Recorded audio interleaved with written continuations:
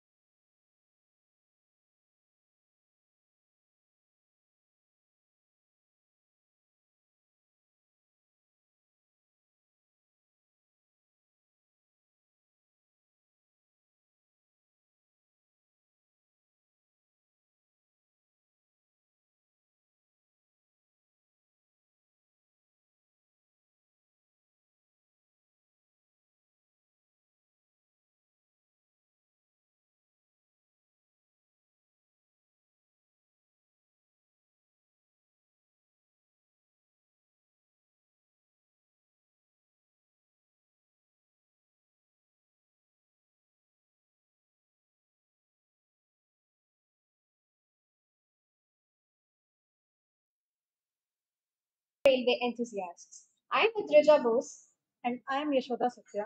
and it is, it is our absolute pleasure to welcome you to the celebration of National Rail Transport Day at GSV. Rail transport has been the backbone of a country's infrastructure, connecting cities, towns, and remote regions, and facilitating the movement of goods and people with efficiency and reliability. As we mark this significant occasion, we reflect on the pivotal role technology and skills play in shaping the future of the railway sector. So let's embark on a journey of exploration and discovery as we celebrate National Rail Transport Day under the theme of technology and skills for the railway sector. Together, let's honor the legacy of rail transport while embracing the opportunities that lie ahead in this dynamic and ever evolving industry. In today's event, we'll delve into the transformative impact of technology and importance of cultivating skills within the railway industry. The lamp, a symbol of wisdom, awaits illumination through our collective effort. Let's ignite not only its flame, but also our passion, innovation, and camaraderie. I request our esteemed guests to please come forward for the lighting of the lamp. Please, sir. Lamp, the symbol of wisdom, illumination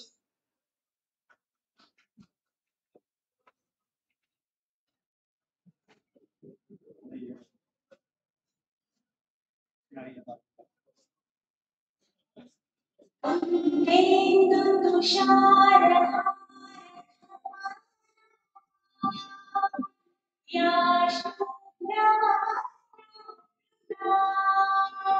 யாவீடா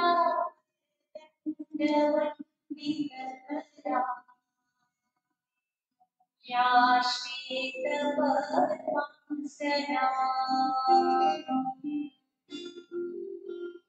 या ब्रह्माच्युतशङ्कर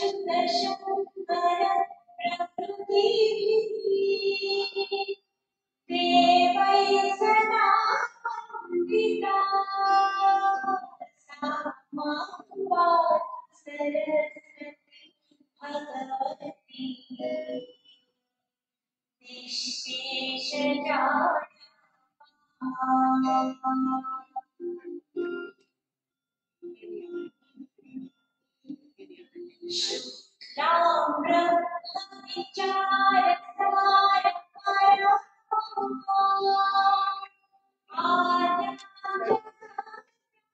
I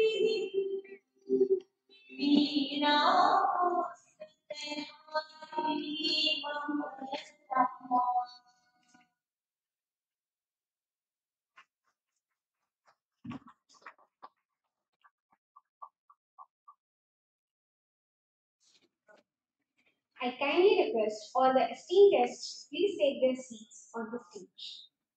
Sri Ashwini Lohani, former chairman Railway Board, former CEO of Air India, Shri V.K. Tripathi, former chairman, Railway Board, Shri Rajendra Prasad, former managing director, NHSRCL, Shri Sanjeev Garg, Secretary General, CILT, Dr. Satya Gupta, President, VLSI Society of sir.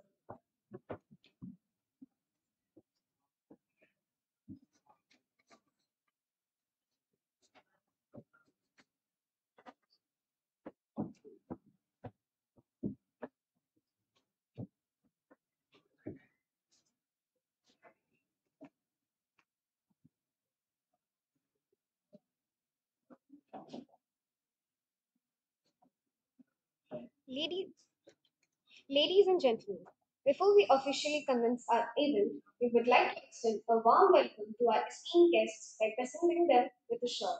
I request our Honorable VC Sir, Professor Dr. Manoj Sir, to felicitate our guests. We have with us Sri Ashwini Lohani,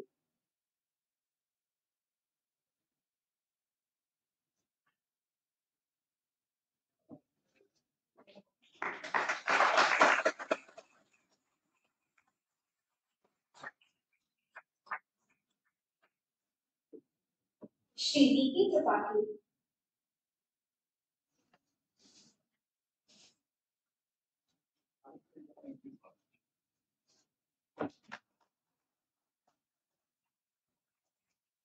Shri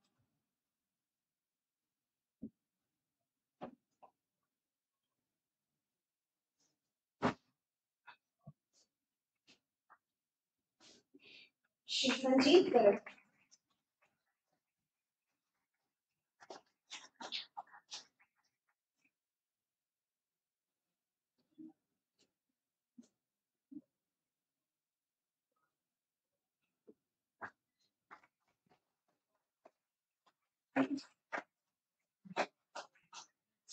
Shri Sanjeev Garg,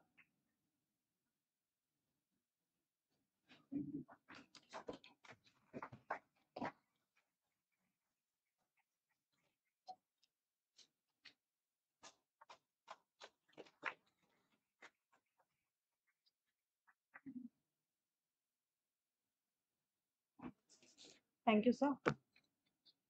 It is a privilege to hear from a leader whose guidance shapes the very essence of our institution. Please join me in welcoming Professor Dr. Manoj Chaudhary, sir, Honorable Vice Chancellor of Gati Shakti Vishwavidyalaya, to deliver the welcome address.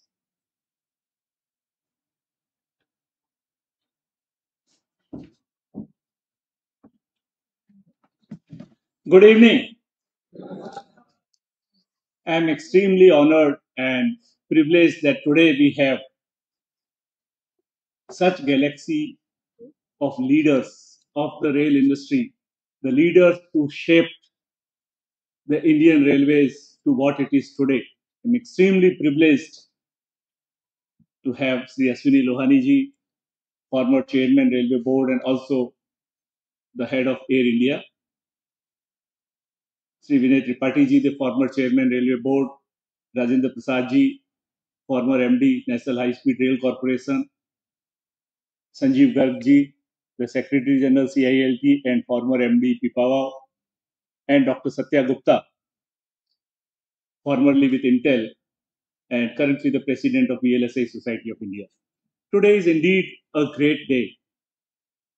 1853 is when the first train was operated in India, and Indian Railways has a great history and a great legacy, and indeed a great future, as we will hear from all the leaders today. Today in Gati Sakti Vishwavidyalaya, India's only university in the transportation logistics sector, India's only university in the transportation logistics sector that is unique because it is operated by the Ministry of Railways. And that is why today the celebration at Gati Sakti Vishwavidyalaya of the National Rail Transport Day is both timely as well as very essential. Most of our programs, as you know, are in rail engineering. We are located in the campus of railways. We are, our chancellor is the Minister of Railways. We are driven and administratively controlled by the Ministry of Railways. So it is not an exaggeration if I say that railway is in our blood. Every single thing that we ought to do, every single thing that we have to do going ahead, every single thing that we study here, do research here, railway has to be the first and the most essential component of that.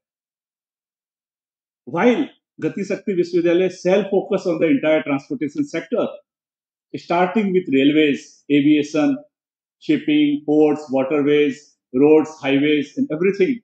Railways is the fundamental thing. Currently, all the programs, academic programs we have are in rail engineering.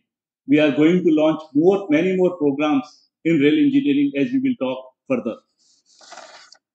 Given that many of our dignitaries are visiting Gati Shakti Vishwavidyalaya first time after Gati Shakti Vishwavidyalaya was notified as a central university in December 2022, I will maybe take around 10 minutes of time explaining where we have progressed so far because it is important to understand from them their expectations when they set up this whole university in their direction where it should go and therefore it is important to understand where we stand.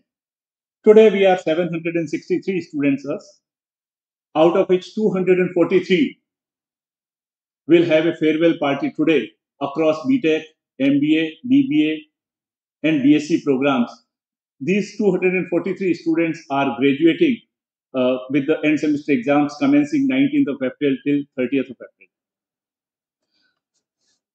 We currently have five BTech programs. We have a BSc and BBA program. We have MBA programs that are in operation for quite some time. As of today, we have 27 full-time faculty members. We have four distinguished visiting professors, including Dr. Satya Gupta on the dais today. We have former chairman railway board Sri Lahoti as one of the distinguished visiting professor. We have former logistics secretary Pavan Agarwal ji as the as the um, distinguished visiting professor. Professor Prabuddha Ganguli as the IPR uh, leading expert in India as the distinguished visiting professor.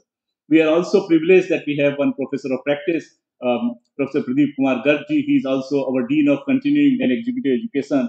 He is from the railway family having worked in the railways for more than 35 years and retired at the top position of the Secretary of the Railway Board. We are in the process to hire more faculty members and hopefully by August of this year, we should have more than 50 regular faculty members. In addition, we have 50 visiting faculty members, most of them from different IITs, IIMs, and NITs, but around 12 of them leading railway experts who are teaching several programs and courses related to railway engineering at Gati Shakti Vishwavidyalaya. And we look forward to having many more of them. I am very happy to note that Sri Sanjeev Gargji on the dais with me is teaching one important course on green logistics already, and we are looking forward to many more railway professionals helping us trying to teach the latest and the best in the railway technology to our students. As a university, when we had to define our vision statement, for the 21st century university, we zeroed onto only two words that is, innovation led and industry driven. Every single thing we do has to be inspired by these two words that is, we have to innovate for India, we have to innovate for the world in the 21st century, and every single thing we do at the university has to be driven by stakeholders, industry being a synonymous with the stakeholders. Curriculum we design, curriculum and the content we deliver, and the graduates we prepare for. Everything has to be for the stakeholders. I am very happy to note that last year we had five patents granted from the Innovation Led University, and this year, just yesterday, we have one more patent that has been published uh, by Dr. Chintala. In terms of industry driven approach, we have prepared our curriculum for the rail engineering with significant inputs from Ministry of Railways, with the different production units of the Ministry of Railways, and with several rail industries related to Siemens or L&T or Alstom and so on.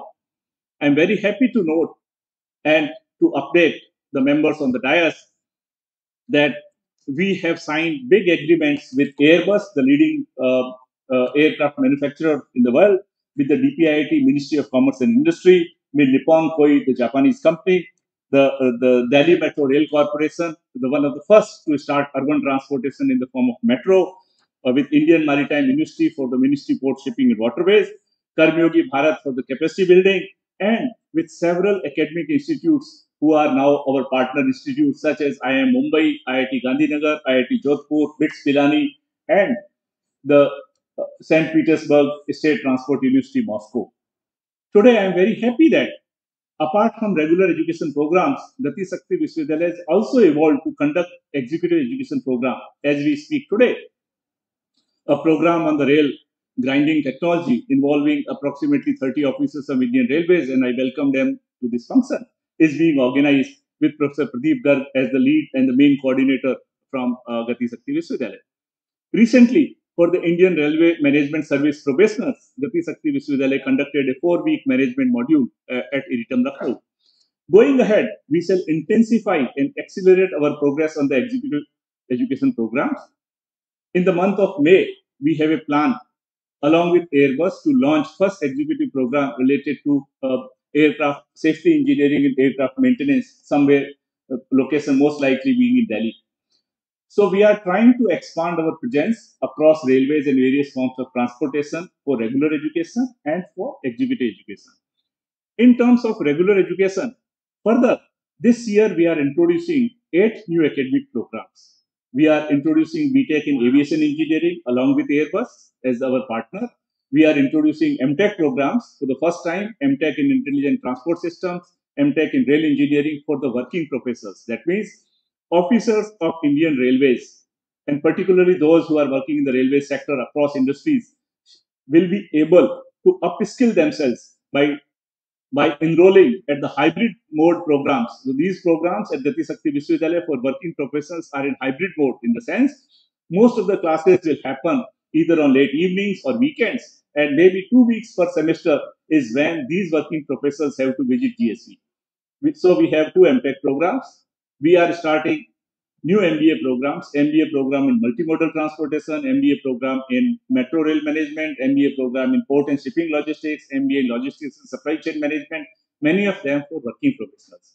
For the first time, we are also starting a PhD program, again for the working professionals. So all officers who are working in Indian railways and the railway sector and doing leading and cutting edge research to solve the problems in the field for the railway sector are welcome to apply for PhD program at Gati Sakti Vishwavidyalaya, once again in a hybrid mode to facilitate these working professionals to upskill themselves and to take higher order degree with them. These are some of the important initiatives. Being under Ministry of Railways, it is our mandate as well as our duty that firstly, we take care of the working professionals in the Ministry of Railways and upskill themselves to prepare them for a bright future of railways tomorrow. Further, we are in the process to finalize agreements with top universities around the world, like Monash University. We have an agreement that is almost been finalized and is pending to be signed. Today, we will have two MOUs being signed, one related to uh, one with the Chartered Institute of Logistics and um, Transportation, an important uh, professional organization dealing with the logistics and transportation sector, providing many opportunities for our students, for faculty members, for stu- internships, placement, many of the opportunities. Second is with the VLSI Society of India, which is an important player in the semiconductor and electronics industry, which will again help us more in terms of opportunities, more placement opportunities, more learning opportunities, more joint workshops. As India becomes a semiconductor nation, as all of us know, with the recent announcements that have been made by the government of India, Gati Sakti Vishwavidyalaya shall not lag. It shall take steps from day one to encourage and promote semiconductor and electronics revolution in the transportation industry and particularly from the railways. If I move forward, some of the important other topics that I want to mention is with the agreement with Ministry of Commerce and Industry, DPIIT Logistics Division, Gati Sakti Vishwavidyalaya is the central nodal agency to train the civil service civil services officers across states and center on the usage of the PM Gati Sakti for both infrastructure sectors as well as for the social sectors, including area development, including planning, monitoring of the projects eh, to contain cost overruns, to contain schedule overruns for our infrastructure sector. Recently, on 8th of April, we conducted a big workshop right here in the same auditorium where the secretary of the DPIIT, along with more than 78 people, the nodal officers from different centralized training institutes and state administrative training institutes and the nodal ministries participated. That emphasizes a great role and responsibility that Gati Sakti Vishwavidyalaya has, not only to provide education and the degree programs to our regular students, but to prepare a developed India by developing the working professionals and officers who are working in the field who can create superior infrastructure and logistics ecosystem for whole of India. My dear friends, India has huge expectations from all of us. We are not just a university. It is a revolution. It is the first experiment that government has done in the transportation and logistics sector. And we, being the single biggest startup, as I would say, funded solely by the Ministry of Railways, we have a big mandate and responsibility to innovate, to prepare our future, and to prepare future of human resources right here from Gati Shakti Vishwavidyalaya, who shall be leaders of the sector in, in the next decades to come. We already conducted our first convocation and we were very happy to have the chairperson of the railway board as our chief guest. In terms of placement, which is important activities, this year we had almost 100 companies that had shown interest so far. As of now, our placement is at 52%. And we believe that over next 45 days of time, we believe we can definitely move, up, move significantly up with some of the public sector units most likely to come over next six weeks or so. Further, I am very happy to notice and inform that several of the rail domain industry companies such as Wabtec, Alstom, L&T, Siemens, etc. have already visited, Systra have already visited. And I believe that we have potential to attract many more rail domain companies here. We have potential to attract several PSUs like DFCCIL or RVNL or RITES and so on. And we are continuously trying to request them that our talented people who are trained in railway engineering um, deserve better chances, deserve better opportunities. Of course, it is all of us. Once a company comes here, it is up to our students, up to all of us to prepare well and take that opportunity with both hands. Similarly, our university provides financial assistance to 20% of our students, being one of the very inclusive approach that we have towards the sections of the society that perhaps is not in a position to bear the cost of technical education. In addition, corporate houses like Siemens have already announced a scholarship scheme to encourage female students in the transport and logistics sector. This year alone, four first-year female students have been nominated and selected for Siemens scholarship, which is to cover them for the entire duration of their program. Chetak Foundation is already sponsoring one female student for this. There are corporate houses currently considering to sponsor significantly large number of our students and portion of students for the scholarship scheme. Our internships, which are organized and railway, Ministry of Railways and different units have been providing internship to our uh, our students, and that continues this year for the first year, second year, and third year. And we have to continue having more industry immersion and industry experience as we go ahead. We have our next semester that starts on 4th of August. That is from 30th April to 4th of August. In the 12 weeks duration, we have enough time from our student point of view to gain industry experience for internship. We have institutionalized several student related programs like cultural festival, sports festival, technical festival, and I'm very happy to say that many of these festivals are now sponsored by the corporate houses. What that means is that industry is taking active interest. They are watching our performance. They are watching us grow. They are watching us develop further into a world class university. And that is where we have a, a big responsibility, as I always say. In order to prepare our students more and more in the industry driven approach, over the last five, six months, our students, along with the faculty members, have participated in at least six national conferences. For example, Indian Mobile Congress, Indian Railway Equipment Exhibition, Rail, Rail India Show, in LogiMAT, the Logistics Conference, in Vibrant Gujarat Summit, in the recent workshop that was held between uh, IIT Delhi and Sophia University of Japan. These are the opportunities that our students have in order to experience what industry needs, in order to experience what the real world looks like. And I believe that these are the important experiments as we go ahead. We are in the process to build our physical infrastructure. On 1st of March, we had the Bhumi Pujan. And As you know, the construction in the campus is ongoing. Ministry of Railways has always been very, very proactive in enabling us with the physical infrastructure support. And that is where we have our classes running, we have our hostels running. NHRCL has already been gracious enough to allow us. So we are trying to build our capacity. We are trying to leverage the current infrastructure in an optimized manner between Gati Shakti Vishwavidyalaya and National Academy of Indian Railways. And we are collectively trying to move forward and create a platform where more and more officers of Indian Railways can be trained, where more and more human resources for the railway sector can be done. I will not take much time. I would like to thank you once again and wish you on the National Rail Transport Day today, an important landmark for all of us. Today's theme is technology and skills for the railway sector, something that Gati Sakti Vishwavidyalaya must learn. Which new technologies need to be developed, which new skills to be acquired to be prepared, not only for our regular students, but also for officers and workforce across Indian Railways. And I am very happy and once again welcome welcome all our dignitaries on the dais and want to once again wish all 243 of graduating students who shall graduate from Gati Sakti Vishwavidyalaya this year and will become brand ambassadors of Gati Sakti Vishwavidyalaya when they enter the workforce. Thank you so much. Thank you. Thank you, sir. Your words always inspire us to work hard. Today, we are privileged to witness the signing of MOU between GSV and CILT, Chartered Institute of Logistics and Transport. I request Shri Sanjeev Garg, sir, Secretary General CILT, and Honorable VC, sir, to sign the MOU. Can you please bring that? Yes.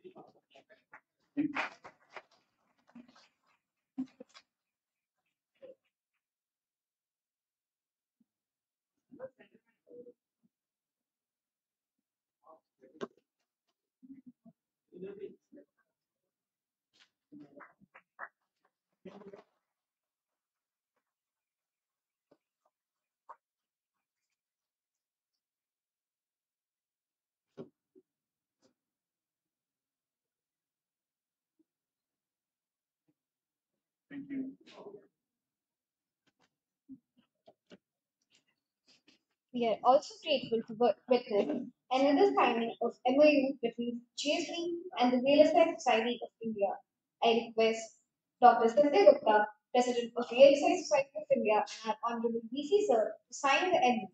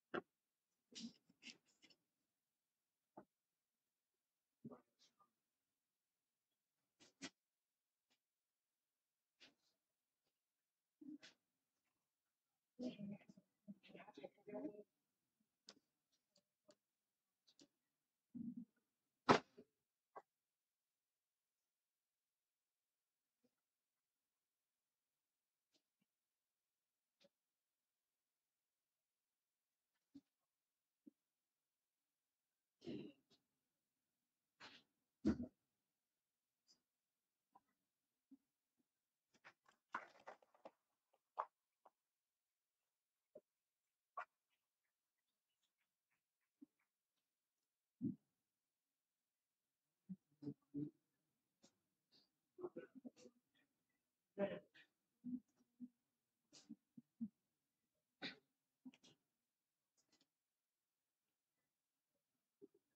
you.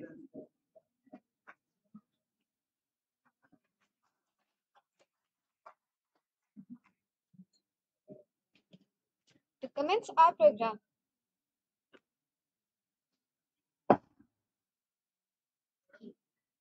to commence our program, we are privileged to welcome five esteemed guest speakers who will graciously impart their insights and expertise in their respective fields. We are pleased to introduce Sri Ashwini Lohani, a distinguished professional with an illustrious career in Indian Railways Service of Mechanical Engi- Engineers (IRSME). After retiring from his position in 1980, he, hold, he currently holds the position of CEO at GMRSP with notable leadership roles, including serving twice as the CMD of Air India. He successfully guided the organization towards consecutive years of operating profits. Moreover, his tenure as the chairman of Railway Board coincided with a crucial period of reforms in the railway sector. We are privileged to have Lohani ji join us today as we delve into the discussions about technology and skills in the railway sector. And we eagerly uh, anticipate benefiting from his insights and expertise. Please join, join me in extending a warm welcome to welcome Shri Ashwini Lohani, whose leadership and vision continue to inspire and propel advancements in the transportation sector.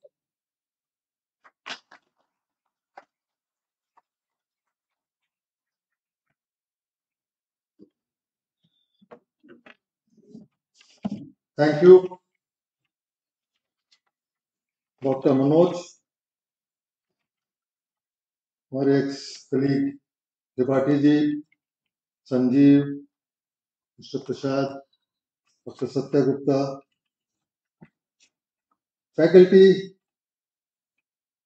from Gati Shakti Vishwavidyalaya as well as NAIR, railway officers, India students. सबसे पहले बहुत बहुत बधाइयाँ 16 अप्रैल 16 अप्रैल की। आज का दिन railway के लिए बहुत मायने रखता है। 16 अप्रैल को हिंदुस्तान की पहली ट्रेन चली थी, मुंबई और थाने के बीच में। सुल्तान साहेब और सिंध तीन इंजन लगे थे उस गाड़ी में। उन इंजनों का नाम है। और तब से इस हफ़्ते को, जो हफ़्ता कल्मिनेट करता है सोलह तारीख में सोलह अप्रैल को। उसको रेलवे वीक के तौर पर मनाया गया तो railway week for everybody who has an association with railway is a very very important period and a very emotional moment also day of 16th of April. तो बहुत बहुत बधाइयाँ my best wishes on this very important day. I've been in this hall on a number of occasions in the past. I've addressed students, addressed uh, not exactly students, uh, addressed probationers railway officers till as long as it was NAIR. Before that, the Railway Staff College. This is my first visit to Gati Shakti Vishwavidyalaya. And I hope uh, Gati Shakti Vishwavidyalaya will rise and occupy, ultimately occupy its rightful place under the sun. Providing Shakti to Gati. Think Gati Shakti का मतलब वही है कि गति तो transport देता है और उसको शक्ति प्रोवाइड करना मिशन का नाम। तो गति शक्ति मिशन हो गया। मिशन का एक अंग विश्वविद्यालय हो गया, जिसका काम है ट्रांसपोर्ट के सेक्टर में, उसमें ट्रेनिंग और एजुकेशन के फ़ील्ड में तैयार करना लोगों को। Is the sole motto of Gati Shakti Vishwavidyalaya. I think after hearing from the vice chancellor about all the new development which you are which have taken place whatever you are doing i think i think you are in the right direction. Keep it up. A good job being done. Gati shakti needs samanvay coordination between various transport wings various infrastructure wings.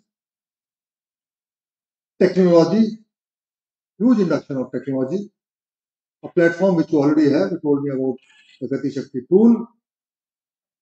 Funds a very strong will. And last but not the least is the biggest the human resource apt for that purpose.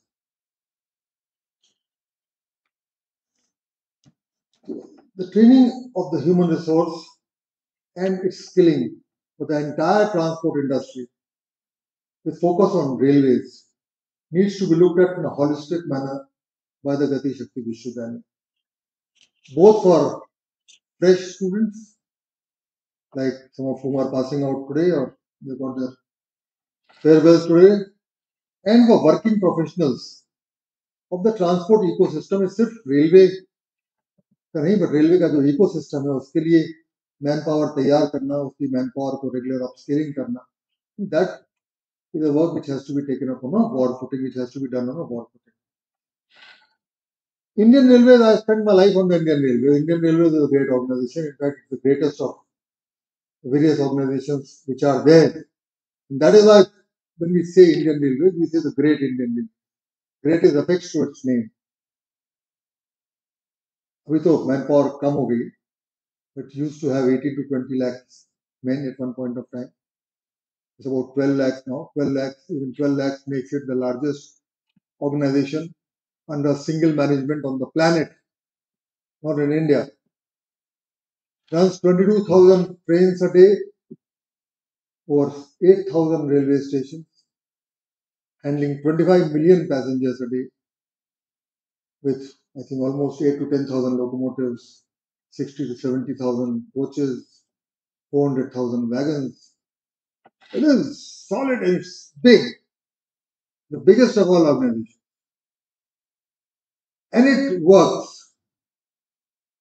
Whatever may be the constraints, whether it's a constraint of fund, constraint of manpower, constraint of any other resource which is which may be required, constraint of material, but the train which has to leave the station at a particular time रात शाम के पाँच साढ़े पाँच बजे अगर राजधानी कलकत्ता राजधानी को दिल्ली से निकलना होगा तो निकलेगी and that is the beauty of this organization works delivers 24 by 7 and the finest symbol of dynamic delivery in the nation finest symbol there is no better no better symbol of dynamic delivery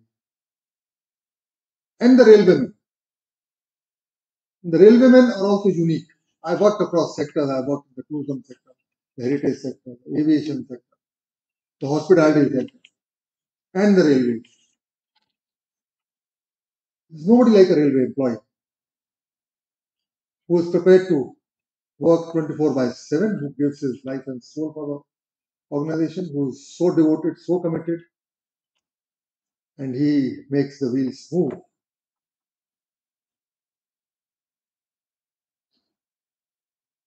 what being a railwayman entails, what a railwayman feels.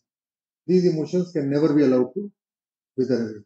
I think having a Gati Shakti Vishwavidyalaya which will focus on various aspects of the entire railway ecosystem will is definitely going to make a difference and help. You have to offer degree programs as a difference. The days of conventional education are over. Education has to be something which can get you a job. It has to be a job centric education. It has to be a skill centric education. And that is what the country also needs now. Skills relevant to professions, professions in the transport sector in a country the size and demography of India.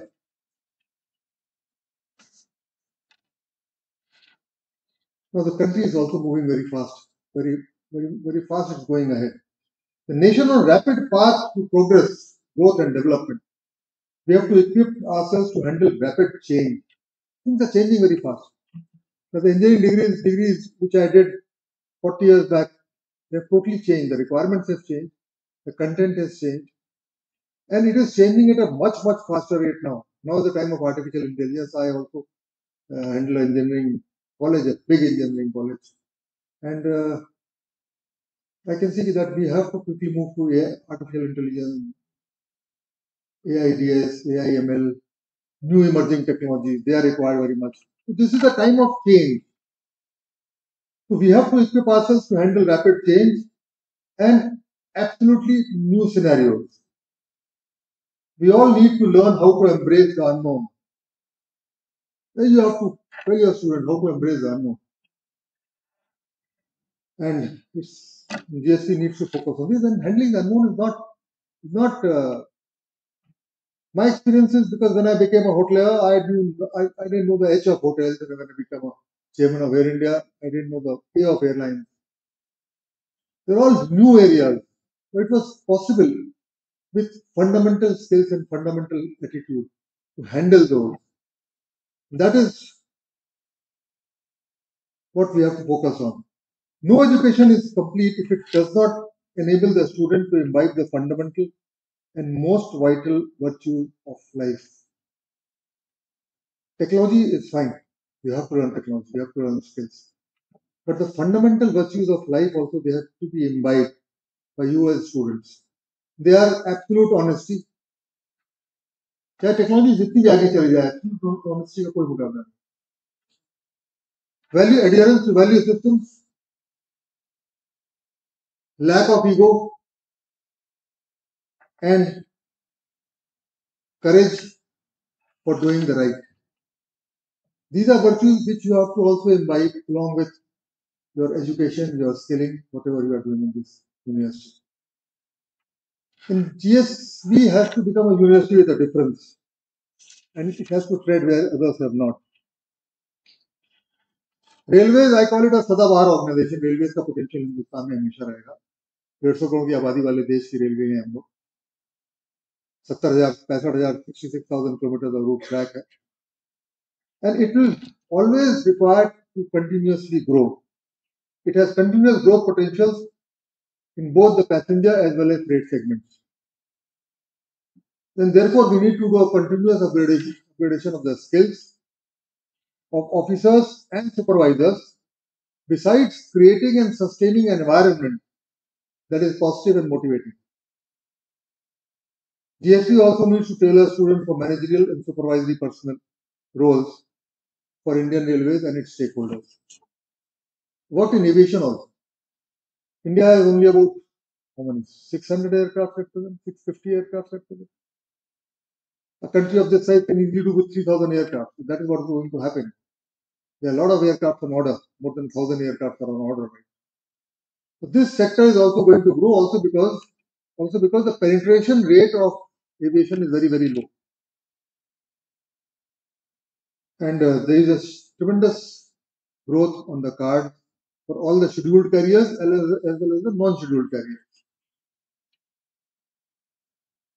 And this uh, increasing the number of aircraft will also require you to increase the size of the airports, increase the number of airports and associated sectors like ground handling, MRO, training, uh, operations. So this will require growth in that. Passenger services, retail, and we can right now itself we can feel the entire aviation sector can feel the shortage of AMEs and pilots, which are required for the, by the airline. And sim, same is the case in other transport sectors. With, with the advent of large advent of highways, good roads, there will be an increased requirement in the road sector also. Well, you can look at you can look at uh, expanding into the aviation sector, look at partnerships, but this sector is going to grow. There is going to be a continuous boom in this sector for time to come. While we upgrade conventional education with skills and job orientation, we should not lose sight of the fact that the most important resource, the most important input which any organization has, which any organization wants, is human resource. HR orientation also has to be a focus area of all the students who are passing out because that has been my experience cutting across sectors that HR is the most important resource of all. Especially railways, look at railways with, with 12, 12 and a half lakh men. It has to be an HR centric organization. The HR orientation can never be lost sight of the fact. The Vice Chancellor talked about placements. The placements are good, but for a university, focusing on placements is also extremely, extremely important because that is the ultimate end result. The above are my initial, whatever I have spoken, they are my initial observations. All of you are experts in this field. And uh, you have to look at improving the infrastructure of the while you are going ahead with making a new university, you have to improve the infrastructure of the existing university also, bring a lot of shine. That is something which I find a bit missing. These educational institutions should shine, should physically and literally shine. That is what can be done. You are in the right direction with efforts, you can do it. Work on 5S certification of the campus. I recently visited the two power plants and uh, I could not have imagined that a power plant can be so damn clean, absolutely sparkling, shining. So that is one. And this is the alma mater of all railway officers like me. And may this alma mater of ours be always on the road to progress and always be a place of pride. My best wishes to all the students, to the entire faculty of GSV, NAIR, uh, officer trainees, students, of course. Best wishes on this very unique day and a very holy day for Railwaymen. Jai Hind.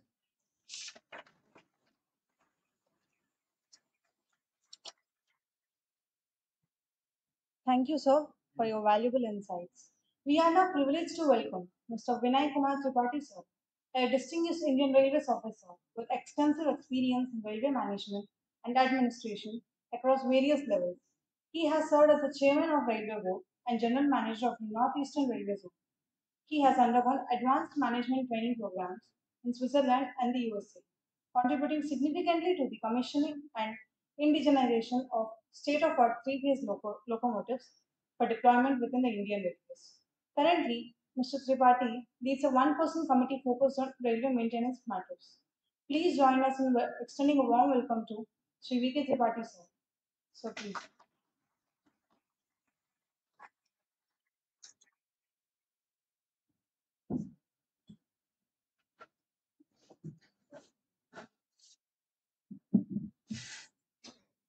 Namaskar.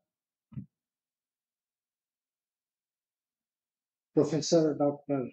Manoj, our my senior colleague Ashwini Lohani, other colleagues Sanjeev Garg, Rajendra Prasad, and Dr. Gupta on the dais. My other colleagues presently working in Shakti Vishwavidyalaya, Mr. The faculty members, training officers, and the all young blood students.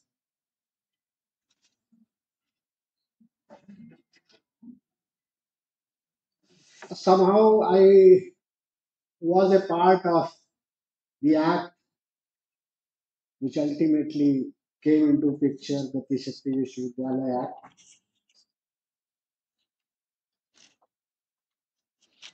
Lot of thoughts have gone into it. Before that, even it was working as an RTI or NTII exactly. It was working from last one, one and a half years. The concept of the university came, our PM's vision was that some that some university is to be made which can take care of all the transports, not only railways, the surface transports, the aviation sector, even the waterways, everything should be fed from this university.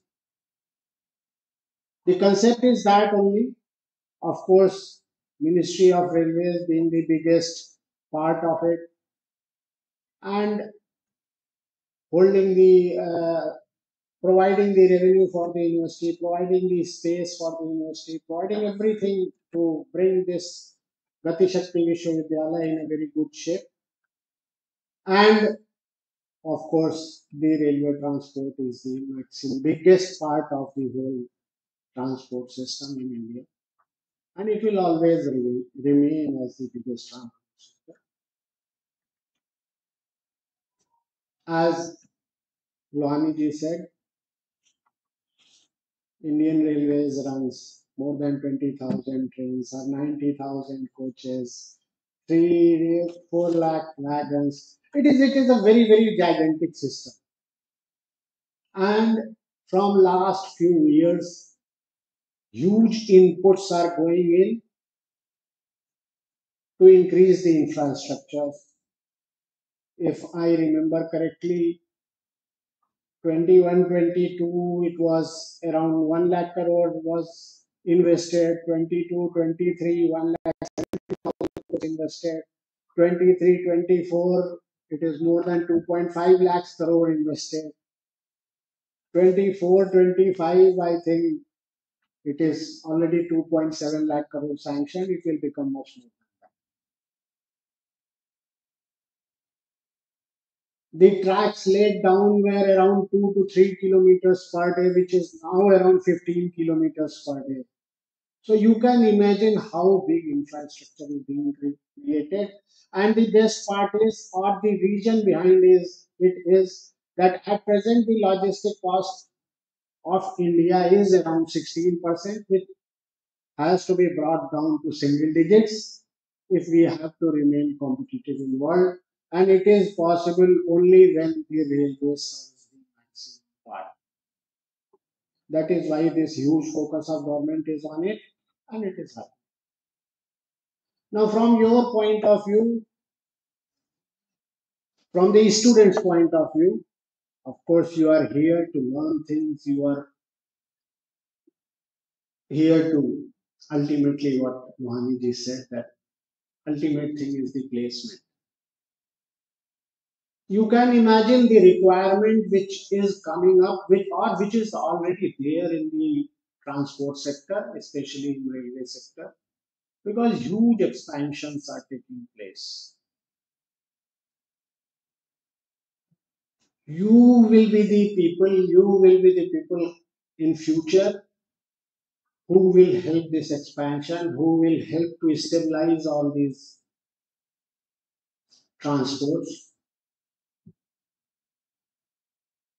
I have come to this place. I have been in this hall many times. Even once I have come here as a training officer also. Heard some lecture like today you are listening from us. This place has always been very close to the railway. We all we started our foundation course from this place only. At that time, it was called Railway Staff College. Afterwards, it became Nair, and then now ultimately it will become the part of Gati Shakti Vishwavidyalaya.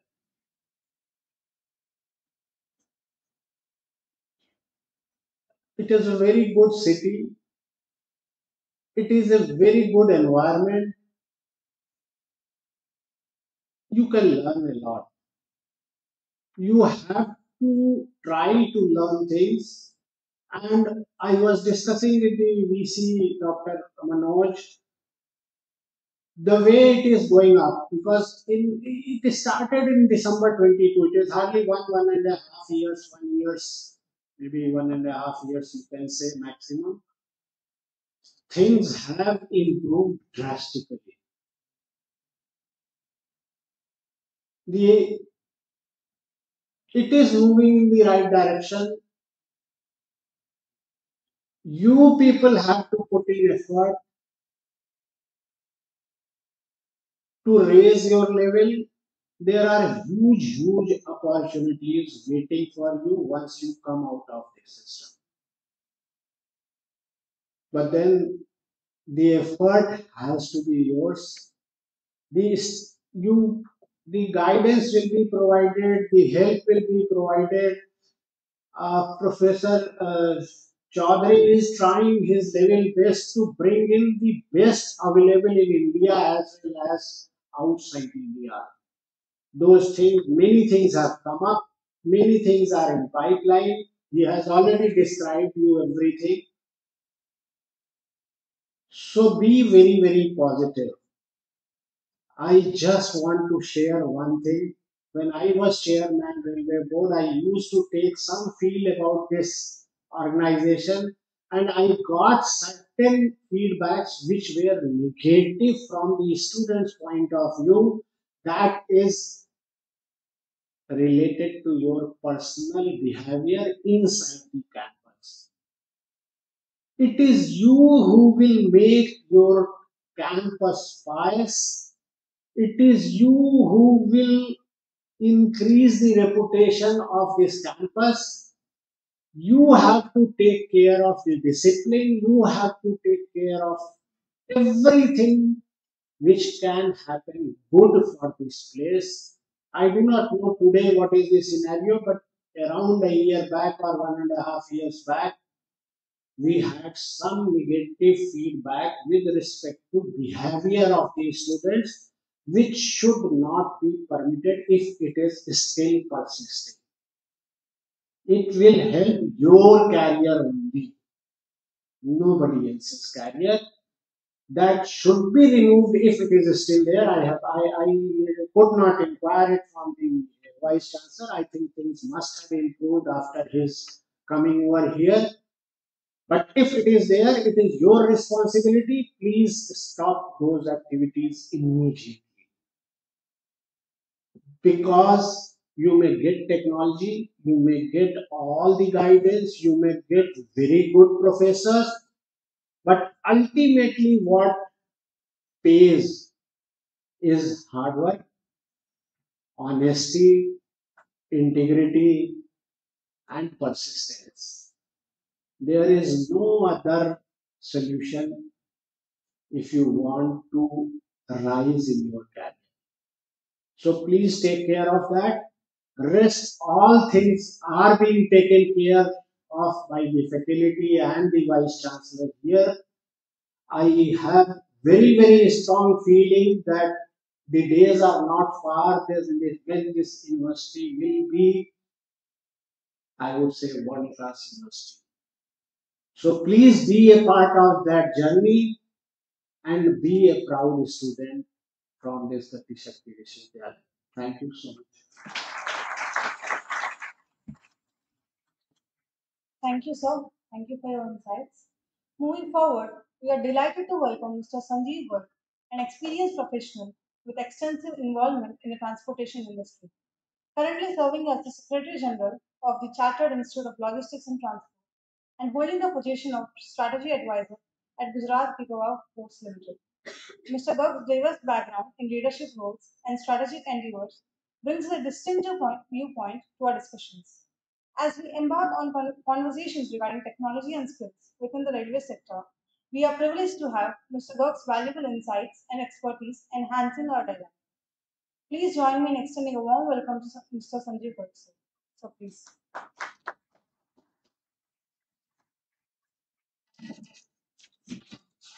Professor Manoj Chaudhary, Mr. Ashwini Lohani, Mr. Tripathi, Mr. Rajendra Prasad, Dr. Gupta, colleagues from Gati Shakti Vishwavidyalaya, professors, faculty members, and students present here today.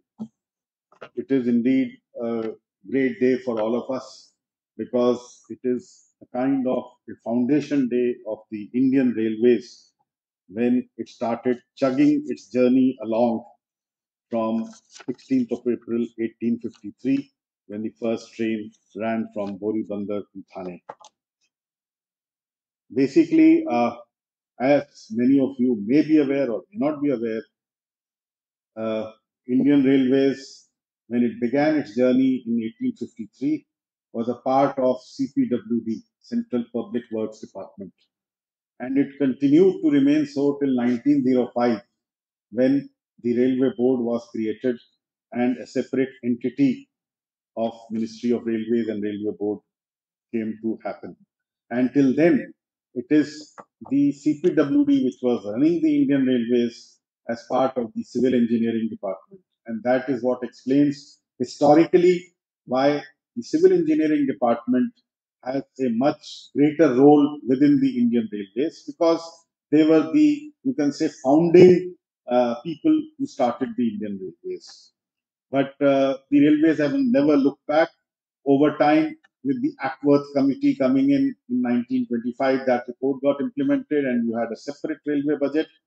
In uh, 1905, they created what was the TTCD, and the full form is very long, but still, I'll repeat it for you Traffic, Transportation, Commercial Department of the Superior Revenue Services of the Indian Railways. That is what it was called. And in Bangladesh, it continues to be called as TTCD, in Pakistan also. So uh, in India, uh, in the 60s, it became the department or the service became to be known as Indian Railway Traffic Service. Meanwhile, other departments, the signaling department, for instance, was part of the civil engineering department. It was separated, I think, in the 1930s or 40s. The electrical department also got separated. So new departments kept getting created, and the last organized service that was created was the Indian Railway Personnel Service in 1980. So what I'm just trying to tell you that the railways have evolved over the last 160 years, and uh, uh, they have they are indeed a great organization. The earlier speakers have already apprised you about it. So interesting thing was that we started off as a broad gauge uh, railway network, which does not exist anywhere in the world. The question is, why did we adopt broad gauge? Or why, for that matter, the railways came to India so early, which was not there in most other countries. The railways came to India because the British Raj wanted it to serve its military purposes so that the military could be transported far, uh, far off to different places to, so that they could rule over the country. And secondly, they could move raw materials from India to the ports to be shipped back to Britain to be processed and then brought back in processed form to India and sold at a very high price. So therefore, the, the Britishers saw the Indian Railways as a tool of exploitation of India. And that is what they did. And that also explains why we ended up with broad gauge, because broad gauge was the broadest of the gauges anywhere in the world. It didn't exist. And it even today, it is only the Indian subcontinent having broad gauge. Reason being that they wanted to have as big a, a transport network in terms of carrying capacity. So they broadened the gauge and which was much more expensive, but then it was the Indian taxpayer who was paying for it through the guarantee system, etc., whereby the private railway companies were guaranteed a certain minimum return on whatever they spent. So therefore, they splurged money on the Indian Railways, and that is what explains huge buildings that you see even today, I mean, which were built in the British era. So I'm just trying to give you a perspective of uh, what the Indian Railways have been through. Meanwhile, uh, as Professor Chaudhary has already said, uh, the students need to know uh, what kind of skills sets the railways would need. But I want to first tell you that the skill sets keep changing. And as time passes, the required skill sets will change much faster. For instance, in the case of traction, first more than 100, say 40 years, we were having steam traction, then we moved to diesel, we move into we move to electric. And in the next 10, 20 years, we'll be moving to hydrogen. The first hydrogen train is going to run on Northern Railway within a few months on an experimental basis between Jind and Rohtak. So, therefore, uh, as we keep changing technology, the skill sets required for uh, people who will man various positions will also keep changing. Incidentally, you also need to know why logistics is important for us. The word logistics, incidentally, also comes from the army because wars were won, won by those armies which had superior logistics. So, therefore, the word logistics came from the army, and in fact, I would say in the 1971 war was won on account of three things good, severe, I mean, firm political will, good military strategy from Sam Manekshaw, and good logistics. So, therefore, logistics is always an important component of whether it is a military strategy or you have to fight a famine or a drought or a flood or a national uh, calamity, anywhere you have to find a, uh, fight any kind of you know whether or it's a pandemic. If you are you are all familiar with what happened in COVID nineteen, everybody was sitting at home. It is only the logistics related companies, the railways or the road transport, they were out in the field transporting all kinds of things, whether it was oxygen or medicine, food, whatever. That they were the only people or the real COVID heroes, I would say, who were out in the field. So therefore, Gati Shakti Vishwavidyalaya is basically giving you training and education in the field of logistics. So you are going to be the logistics heroes of the country. Now, uh, I think some of you seem to have an issue with the uh, placements. What I understand, and in fact, because I took a course here, I had interacted with the students also. The expectations of the students do not seem to match with what is being offered. Let me tell you that uh, the starting salaries in the logistics sector are not high. Let's be clear on that. And no one person or university can change the scenario. The, that's the national scenario, the market. It is the market which rules. And one of us or the vice chancellor or you cannot change the market scenario on your own. So you have to accept the fact that the starting salaries in the logistics sector are slightly on the lower side. But once you join the logistics sector, if you do well, if you do well, that means you have to work hard. The sky is the limit. Now, I'll give you an example. I was studying in Delhi School of Economics. In my time, there was no concept of placement. But some of my colleagues or my fellow students said, okay, let's start a placement cell. So they worked hard. That was way back in 1981. And they managed to get a few companies for placement. We were about more than 100 of us. Everybody was, of course, not interested, but whatever some people were. Hindustan Levers came and they took one person out of 100. That fellow was preparing for civil services exam. But once he got selected into Hindustan Lever, he didn't have the courage or heart to say no. He, everybody told him, You got a damn good job. But Hindustan Lever at that time was paying hardly 1500 rupees a month. He joined. He worked hard. They posted him to a god forsaken place like Etah. Many of you may not have even heard of it. He slogged it out there. He slogged it in various places. He worked in Hindustan Lever for about 10 15 years and then moved to Nestle. And thereafter, he has not looked back. Today, that person is the CMD of Nestle India Limited for the last eight years. And if you see the annual report of Nestle India, his pay package is about 25 crores. So, uh, so the fellow, if he had been foolish enough to say कि 1500 रुपए की नौकरी में कौन जाएगा इससे तो मैं civil services and he was capable of getting into the best service in the civil services that is in the Indian administrative service he said मैं तो आईएएस बनूंगा यहाँ 1500 रुपए की नौकरी कौन करेगा but the fellow decided to slog it out and that is where he is. He and he has not only been the cmd of nestle in india he's been there for last 7 years. He was cmd nestle in egypt. He was cmd as uh, nestle in cambodia or vietnam somewhere. And that and uh, do you know that he is the first indian cmd of nestle india? Prior to that all the cmds were from switzerland because uh, nestle is a swiss company.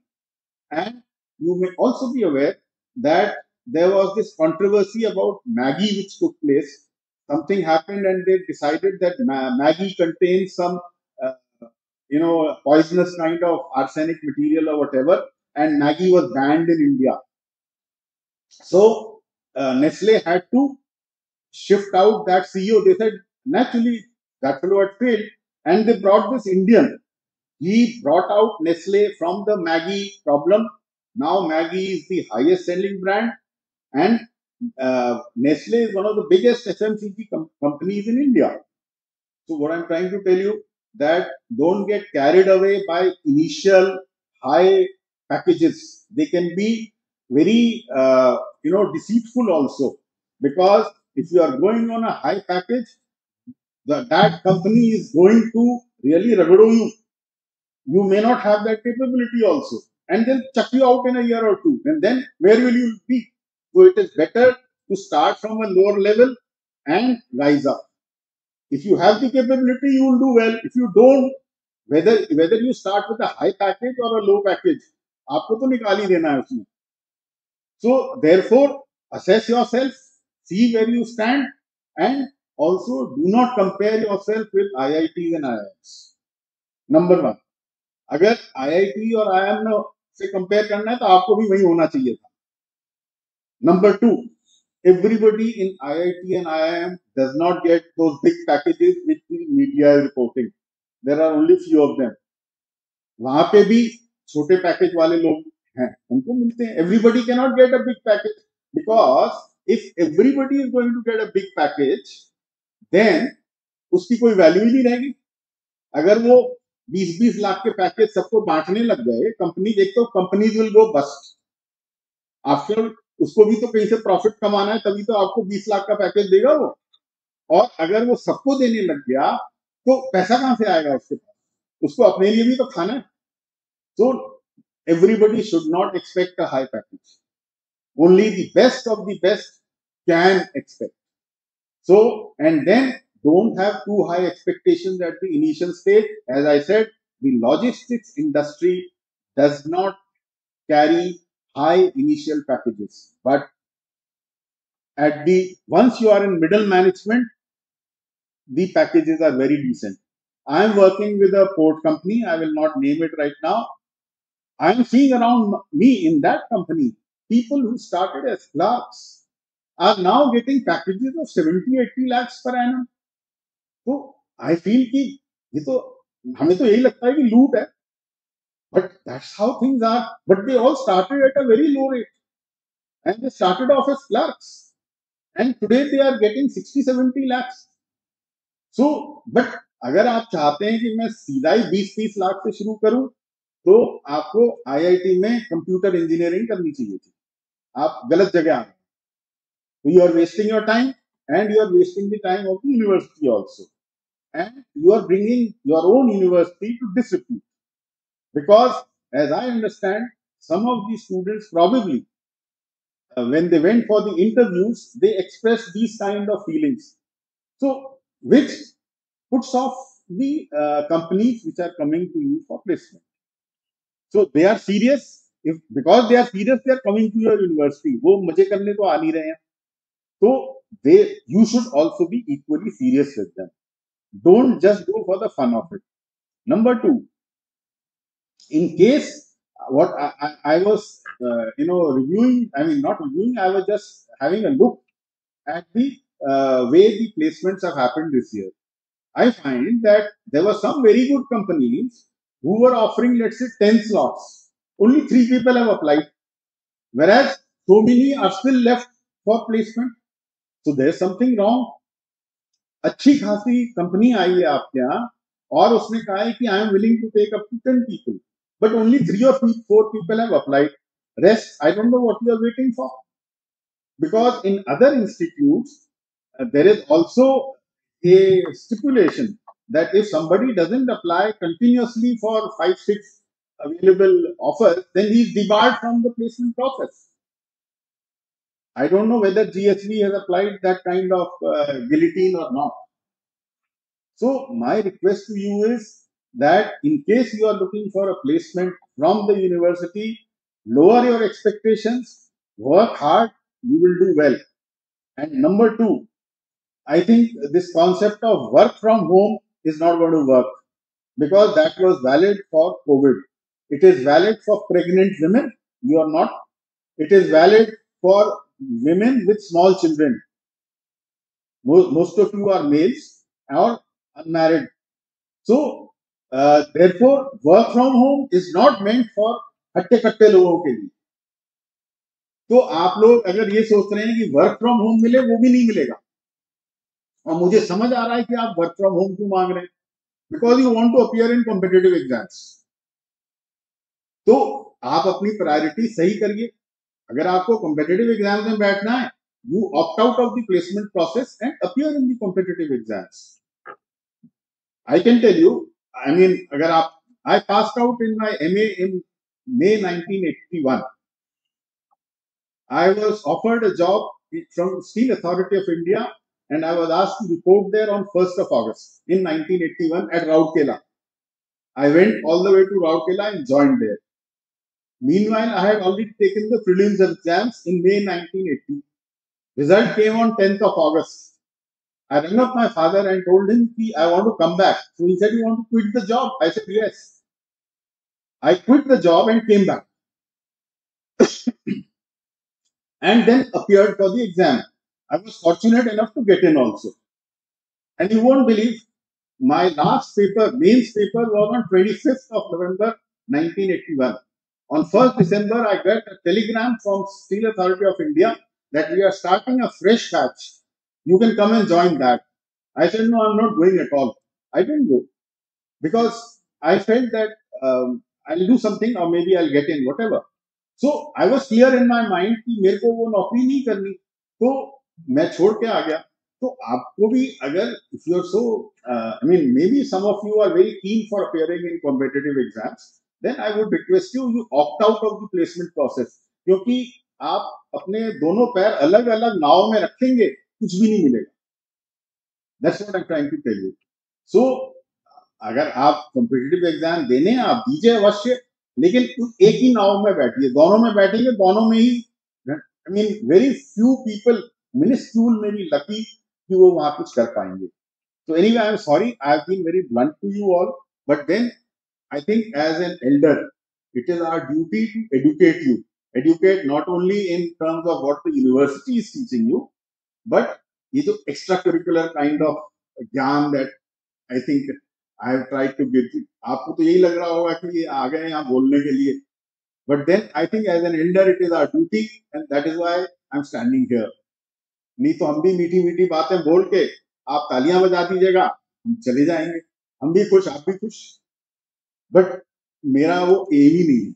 मेरा M है कि आप लोग अच्छा करें because the logistic sector is expanding in India and it is going to expand because the vision of the prime minister for uh, you know expanding to a 50 trillion economy by 2050 etc the logistics sector is going to expand so much कि लोग नहीं मिलेंगे अच्छे लोग तो आप लोग का फ्यूचर बहुत ब्राइट है ये मत सोचिए but then you have to take up whatever job is being offered today and you will yourself become specialists and there will be a tremendous demand for your skills. So uh, uh, there is going to be a shortage of logistics. That still is today, even आज भी है तभी तो गति शक्ति विश्वविद्यालय बना there is no university imparting these kind of skill sets even today. So this is a unique university. आपको unique skill sets मिल रहे हैं तो आप उसका फायदा उठाइए and number two keep reinventing yourself because artificial intelligence आ गई है it will keep making lot of people redundant you never know suddenly आप अगले दिन ऑफिस पहुंचे हैं कहेंगे artificial intelligence ने आपकी नौकरी खत्म कर दी so you have to keep upgrading your skills keep reinventing yourself so that you, you retain your relevance in whatever sector you are working so I've already taken more time than what was allotted to me sorry for that so thanks a lot for giving me a patient hearing and I am quite sure and hopeful that आज से 10 साल बाद if I bang into any of you, you will say that आप सही बोल रहे थे. Thank you.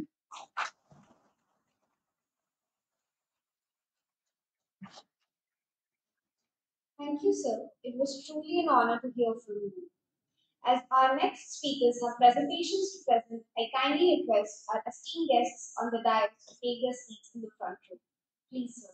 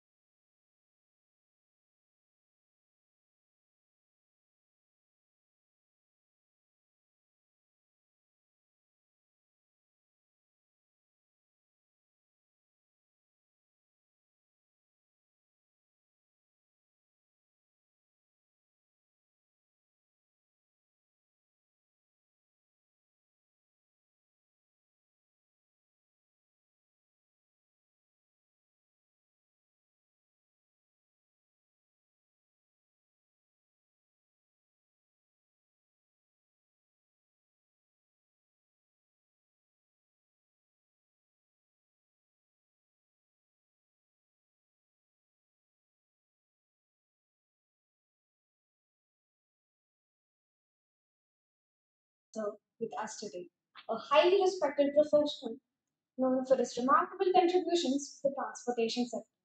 With a distinguished career, including his role as former managing director of NHSRCL, Sir has been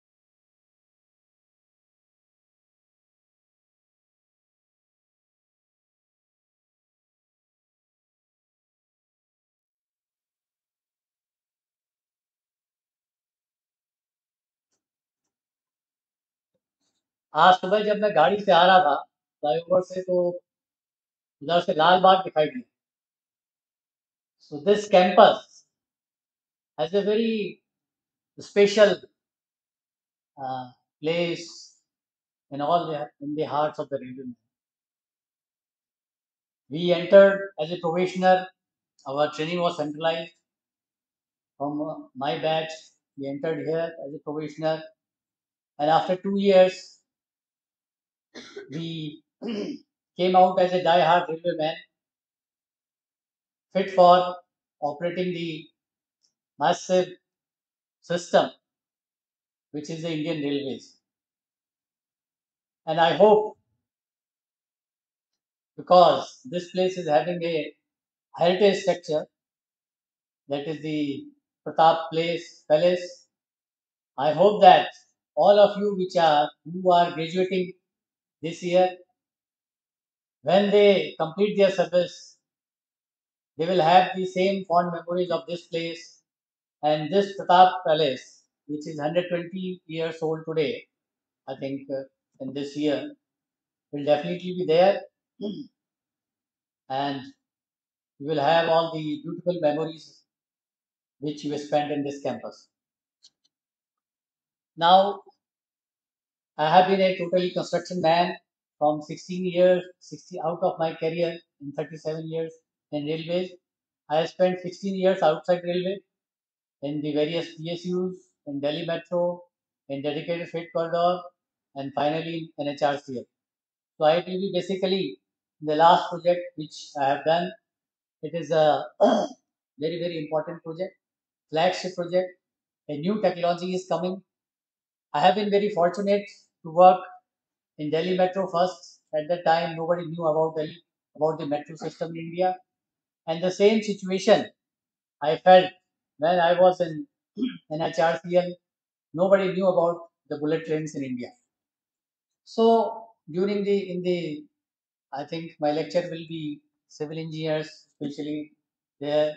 They will be finding it more interesting. As far as the NHRCL project, this first contract was awarded in the November 19, and till now, 300 kilometers of foundation has been completed. We have started first work in Gujarat, which was the land was available in 352 kilometers and 160 kilometer of the structure is ready for track laying. We have completed that. just like yeah, just uh, I will uh, run through quickly the I think people the speed at which this section has been designed is 350 kmph and maximum operating speed is 320 kmph.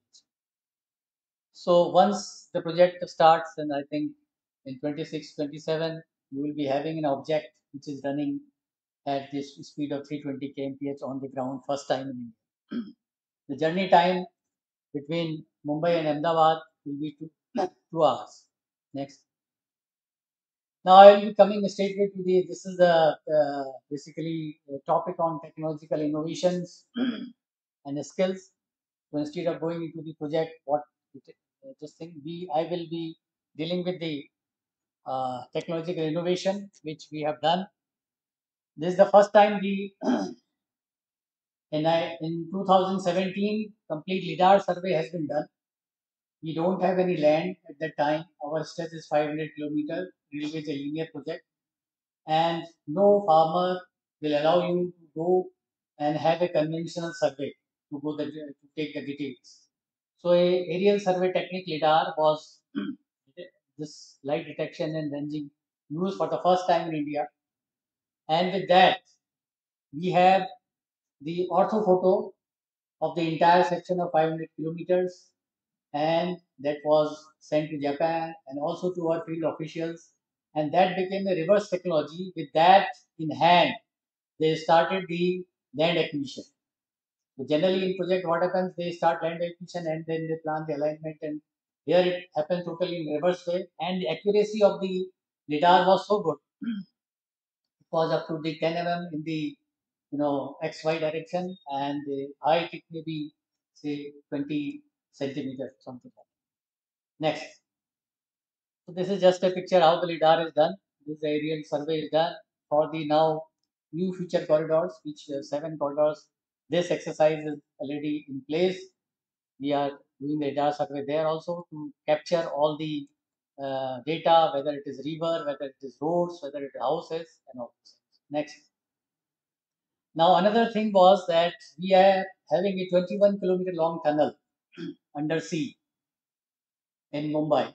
Now, if we have a geotechnical investigation over this alignment, once you do the tunnel boring machine, these holes, whatever you do the geotech investigation, they will they will create havoc because the water may seep through that. So conventional geotechnical investigation is not possible there. So static refraction survey was done and this was done with the Kawasaki Geotechnical Engineering from Japan. Next, they have the expertise in this. In this, a there is a two ships are there. One is the shore ship and one is a recording ship. The both the ships are on the they are on the surface, water surface, and one cable is laid at the ground. So it is a 21 kilometer long cable which is having geophones and seismic waves are created by the ship, source ship, and the data are collected by the recording unit. Once this is done, this is analyzed, and from this we can get the what is the quality of rock in the where, where the tunnel boring machine is to be deployed. So this is one of the new advancement which we have done in this project, which has not been done earlier in next. Now another innovation or it's a, a copy from Japan. We are making our station very close to the stations at Ahmedabad and Baroda. And that is the Japanese system. In Japan, bus, road, and all the metro system in one place, Shinjuku station or something like that, you can find that it is a four at four and five stories. The traffic is being dealt and it's a seamless entry. So we wanted Japanese wanted here also at Baroda and Ahmedabad is seamless entry. We have to enter into the yards and our building are exactly uh, coming in the uh, Indian Railway buildings. So there will be a seamless transfer. For this we have to in the yard there is no space. So generally the foundation work is being done on the left hand side piling system. As you are saying the right, there is a boundary wall, there is a whole population. So this cannot be done. Piling system cannot be used here. Next. So instead of that, this Sinyo pile system, which is widely used in Japan, this is a six meter pile which is supported.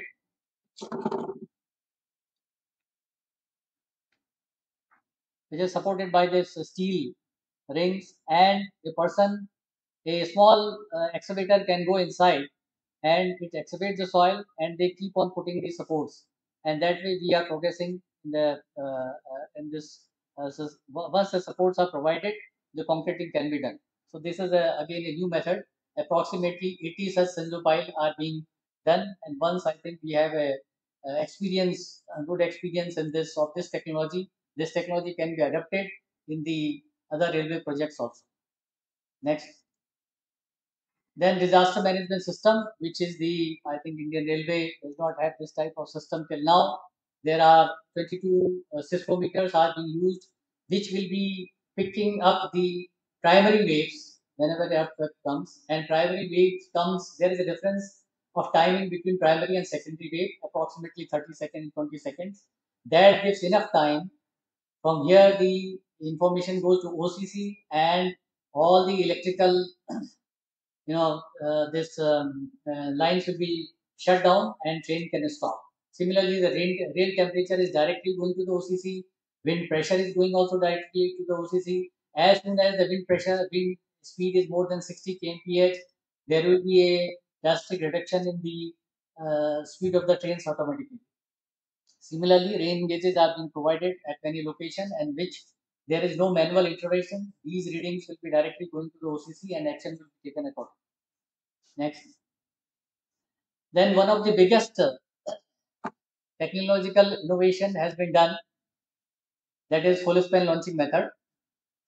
In the 90% of the alignment is on the viaduct in the NHSR. And also you can see in the all the metros also uh, all around they are also being made in the elevated structure. So once this uh, full this uh, the structure is on elevation, elevated, then conventional system of construction that is a segmental construction that can be done only that gives a output of only 40 meter per week. In a week, we can do only one segment, uh, only one span, and one span is approximately 40 meter. We Where it can be 30, 35, and 40.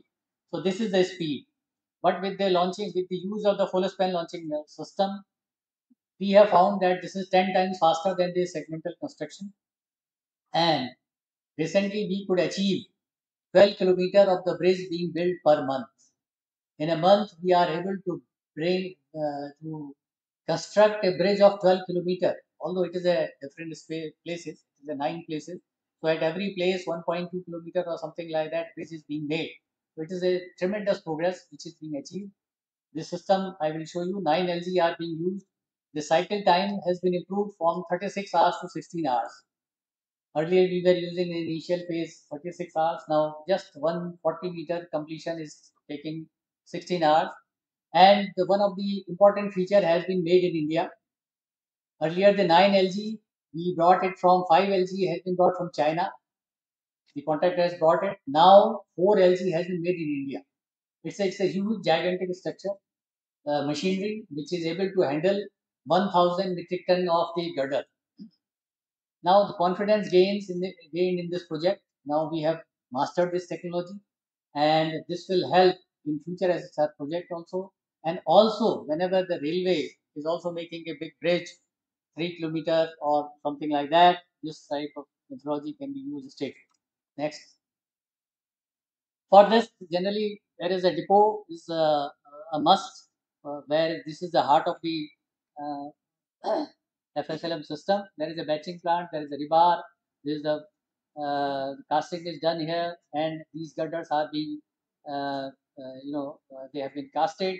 Once the girder has been casted, these girder are moved in this yard by this straddle carrier, which is also 1000 uh, ton capacity. And once this girder is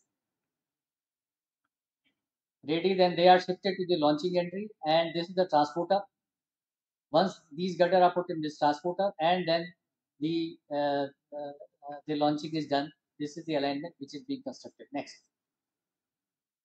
These are the just uh, this is the straddle carrier, this is the base gantry, girder transporter, and launching gantry. Next. This is the bridge. The way this is the already completed alignment. Next. This is one more completed alignment. Now you see this bridge can be completed in just five days. The superstructure of the bridge, foundation obviously it, takes time, but superstructure with this machine this is the portion which has been completed. This is the portion you can see the piers, which which is, which is yet to be completed. So a bridge can be completed in just five days. So that is the uh, technological innovation. Next, yeah, you can put this. Uh, this is the reinforcement case which is being made. This is the girder which has been casted. Girder is being lifted by the straddle carrier in the yard. Then the straddle carrier is carrying it to the bridge gantry.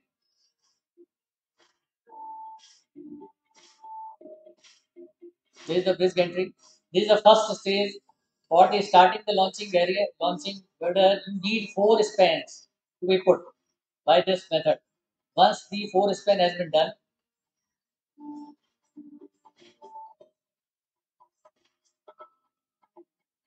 once the four span has been done, then a transporter. This is the launching gantry which has been lifted. This is a transporter having 216 wheels and approximately 50 meter long. This is lifted and now the system is ready for launching of girders. Now the girder is launched and kept on the transporter and the transporter carries the girder to the launching gantry and it is unloaded, placed between the piers.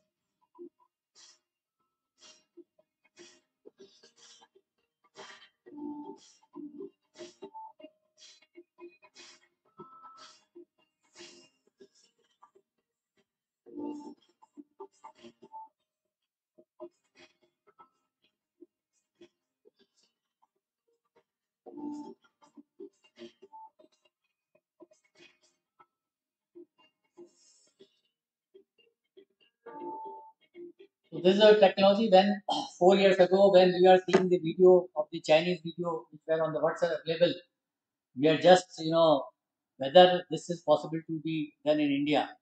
But now, just one year, these are just one year ago, this thing we have achieved. And when I uh, presented this, all the presentation in the international seminars in Osaka and other places, the Australians, the people from USA, the people from Britain, they were totally, uh, you know, awestruck. That is how the India is doing such a marvelous, you know, uh, such a heavy machinery because only in world only four or five countries are having this type of technology.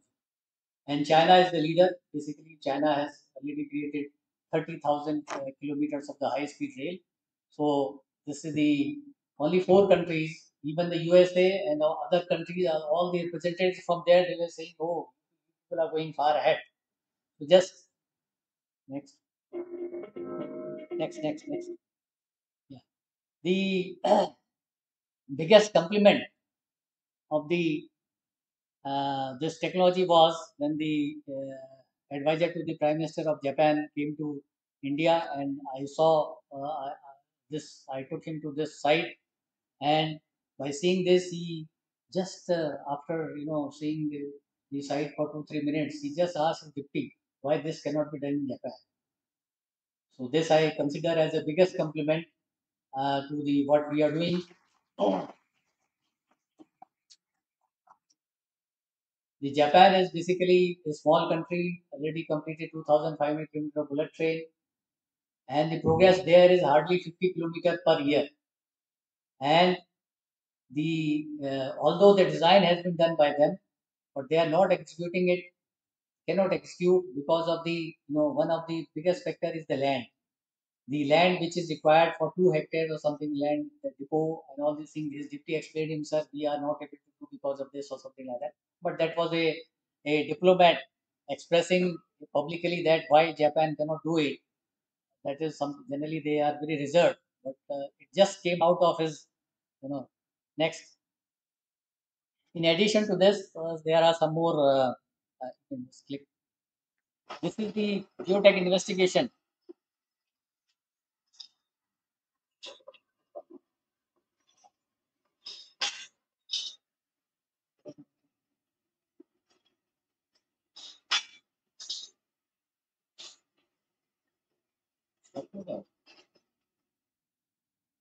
Yeah, when the we started the work, geotechnical, as all engineers know, geotechnical investigation is the most important thing. But least attention is being given to that because when the geotechnical investigation is done, organization is not, you know, fully geared up.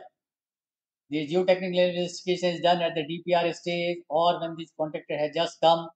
So the contractor L&T being the most prestigious company of this country brought the machine which is on the left hand side, which you have just seen that this is the standard penetration test which is being done. And you have to measure how much uh, this rod which is being pushed into the ground it will be pushed for 40 meter or something like that. How much every one feet of 30 centimeter takes number of blows are required. And with that number of blows you find out that what is the bearing capacity or what is the capacity of that soil if it is taking if it require 100 blows to uh, push it then it is very good soil something like that. Now what i want to show that in this the whole thing is the impact which is coming. A person is holding this rod the rod is not vertical and we have to do this work in 500 kilometer stretch. So this is just not possible to be monitored. So we said okay nothing doing. We are not going to allow this type of machinery conventional machinery this you can see anywhere in the roads or wherever geotechnical investigation is done. We said nothing doing. Even the project is delayed by one month or two months. We will only allow automatic machine. And in india at that time only two machines were there. Contractor brought 10 more machines automatic machines which is having very far higher speed. And the right hand side you see the automatic machine in which there is no human angle is involved. All the readings are directly taken in the computer and you have a proper record for the you know even after the so many years of the project that this is the soil found. So this was one of the i think those machines remain in india and people once we insist then obviously the contractor will be forced to bring this machine. Next.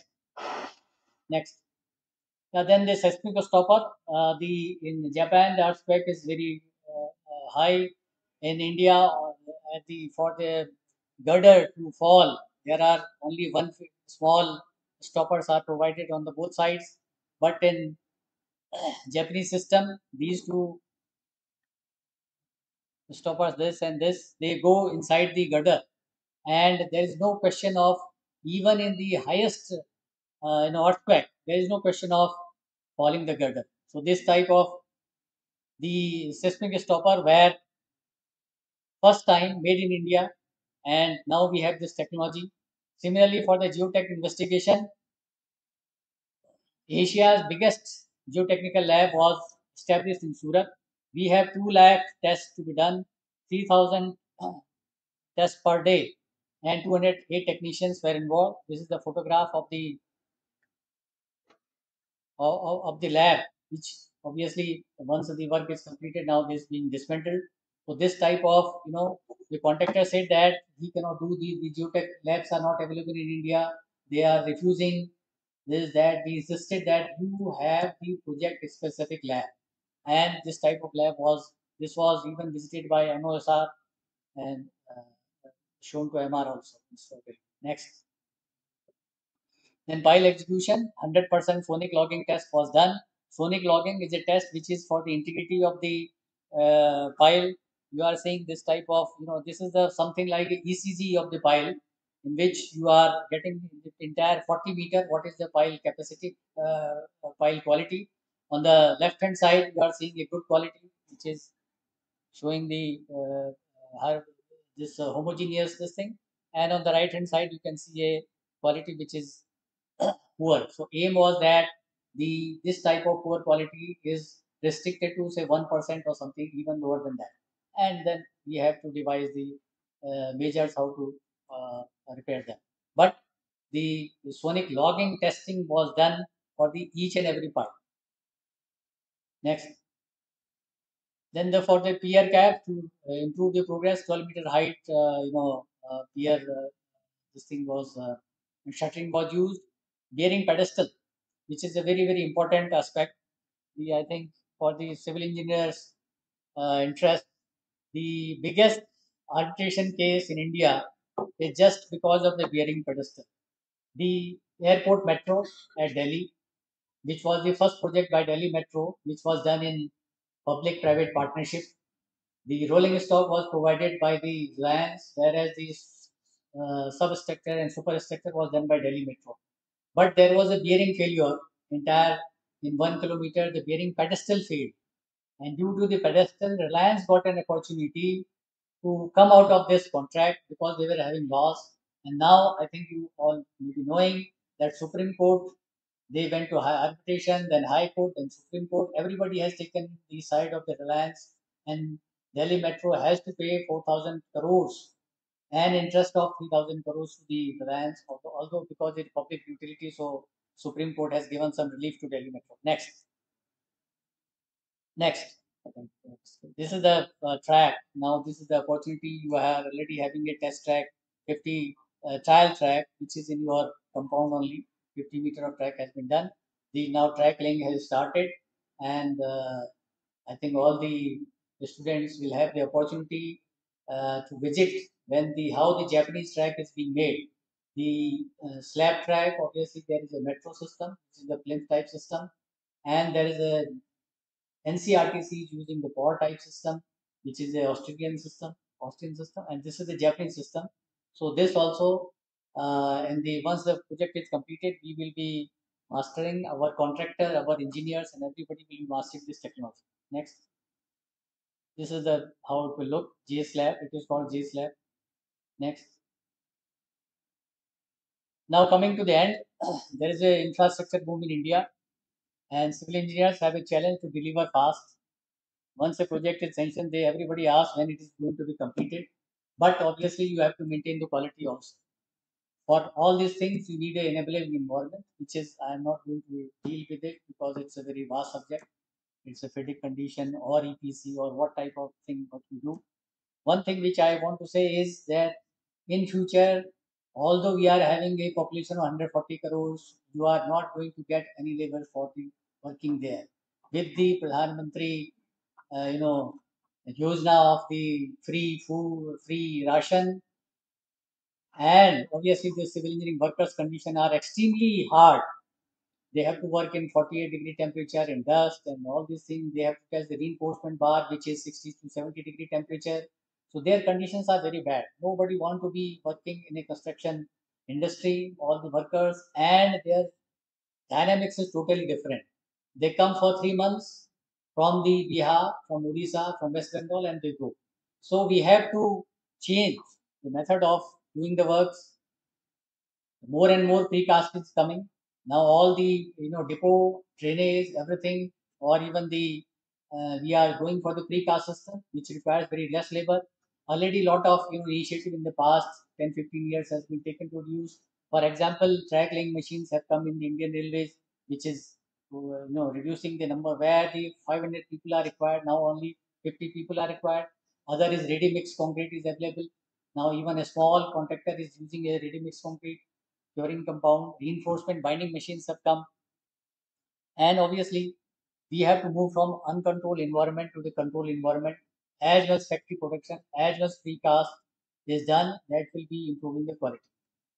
Now, coming to the end, I just uh, wish all the graduates who will be, you know, graduating from this university, best of my best wishes. And uh, even if they want to pursue the civil engineering, this is the boom time. It is not necessary to go to IT and this thing. As Mr. Garg has said that there was one person who was risen. There was one diploma holder working with me, under me in Delhi Metro in 2000. And now he is executive, principal executive director in one metro. So this is the with the metro 20 metro running and more seven or eight metro construction work is going on. Indian railways there is a huge budget there is a dedicated corridor. All these thing, there is so much opportunity that the consultant engineers companies they are finding it very difficult to retain the talent. The talent in jumping. People are doing this metro and immediately after two years they are going for the higher position so the future your future is very good you have more opportunity than our generation. In our generation, it was only government job. Now you have government job as well as private job and lot of consultancy job. Best wishes to you. Thank you very much.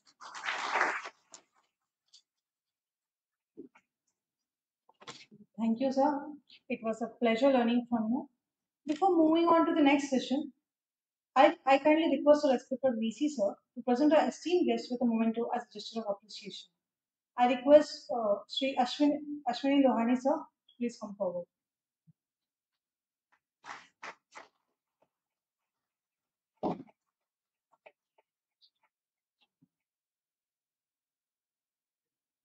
I request VK Tripathi, sir, to come forward.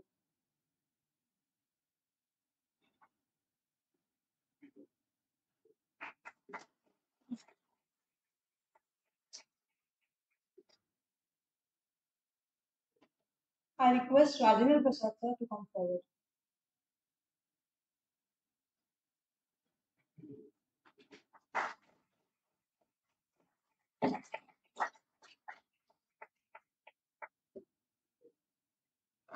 I request Sri Sanjeev Garg, sir, to come forward.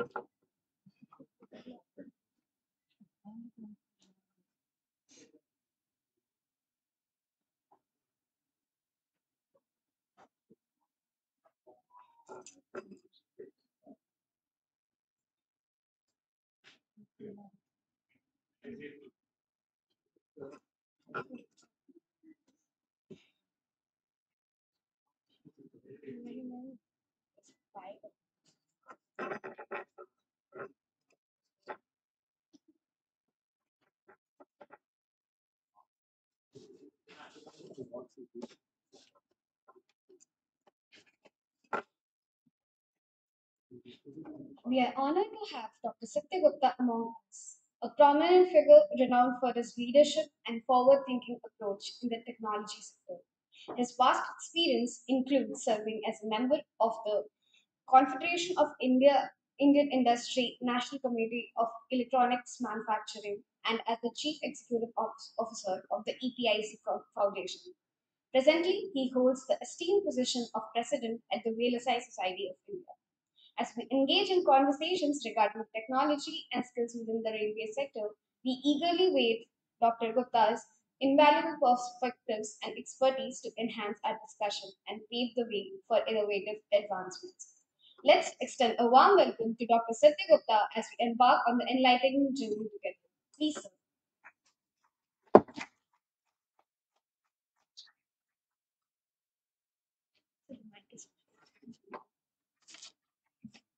Uh, so good evening, everybody. And uh, first of all, let me congratulate everybody on 171st basically year of completion of Indian Railways uh, and giving me opportunity to come here. Uh, uh, I feel very humbled after listening to the four giants of basically Indian Railways. I know very little about railways other than basically traveling in the railways. I come from electronics and semiconductor industry, and I think Manoj and I probably share a lot of it because both of us don't come from the railways, right? Although he has probably uh, gone through a lot of learnings over the last one and a half years, right? So obviously not being railway i'm not going to be basically talking much about the railways i'll talk more about electronics and semiconductor where our nation is that and how it relates to basically the future of the railways some of the things uh, uh, mr prasad talked about right? Uh, uh, when we move to basically more modern railway or modern transport, how the technology is going to play a major role into basically that. So, so I think uh, everywhere you go nowadays, uh, people, uh, leaders, everybody's talking about 1947 being the Viksit Bharat, right, or developed India.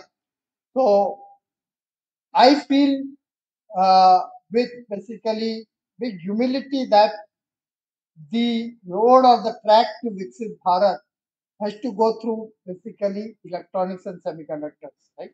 Uh, yesterday I was uh, listening to one clip by Dr. Jaishankar, our external affairs minister, and the interviewer asked basically what are the two technologies which are basically going to be very, very crucial for India. Uh, and one of them basically was the transportation and second was semiconductor. So in last three to four years, semiconductor has become part of the lexicon. Uh, earlier, wherever we used to go, people we have to explain for 15 minutes that what do we do, what is the chip design, and all those things. Nowadays, we go.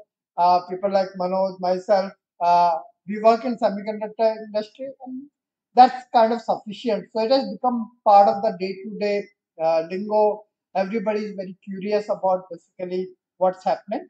Um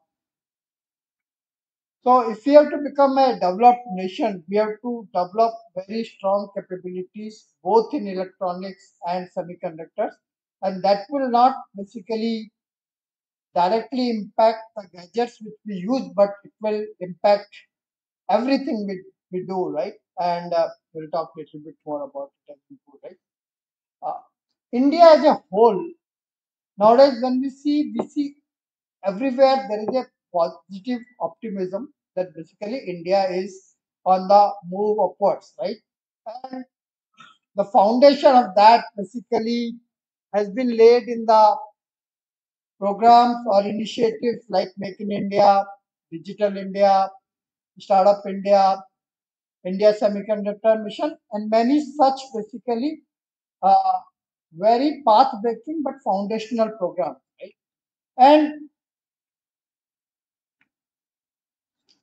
because of that, basically, we have been able to build what we call digital public infrastructure at a population scale. And what do I mean by that is that basically things like Aadhaar, probably each one of us use Aadhaar on a daily basis, and UPI, probably 10 times a day, all of you basically paying 8 rupees, 10 rupees anywhere, or thousands of rupees also. ONDC is a basically e-commerce platform which is being built for the small merchant, unlike basically the large giants like Flipkart and Amazon, so that basically small merchants also can participate in the whole e-commerce uh, opportunity. Uh, uh, uh, kudos to basically all of you.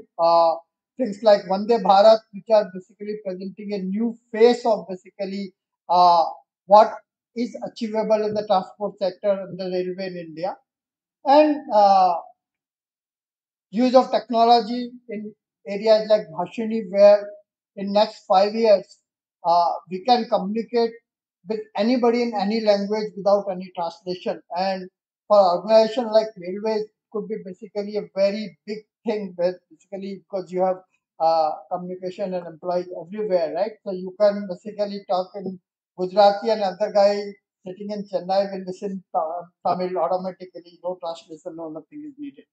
Uh, now, the impact of all of this is fifth largest economy, moving to the third. Uh, we are basically number one in the digital payment. Probably rest of the world combined, we are more than twice of the digital payments every day we do. Uh, number one the data consumed. Uh, lot of thanks to all the young students and young people watching all the basically uh, videos and binge watching the shows. Um, we are number two in the mobile production today. Uh, uh, second largest startup ecosystem, uh, third largest railway in the world, and second largest basically road network in the world. And hopefully, basically, when we hit the 100th year of the independence, all of this number probably should become one, one, one, one, one, right? That's what basically we should aspire and basically uh, put our efforts to get there. Now,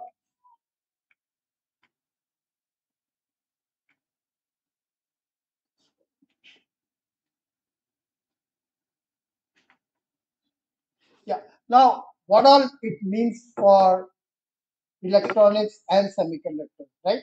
So we look at uh, semiconductor and electronics as a meta resource, not just basically few gadgets. Anything which we do today in whichever sector, right? It is not possible to do uh, without electronics and semiconductor. So I talked about basically in few first few slide lidar gps basically geo survey all of that. How will it be possible without basically electronics and semiconductors right? Gps is primarily basically a uh, facility which was developed by uh, when we had a good semiconductors and things like that right?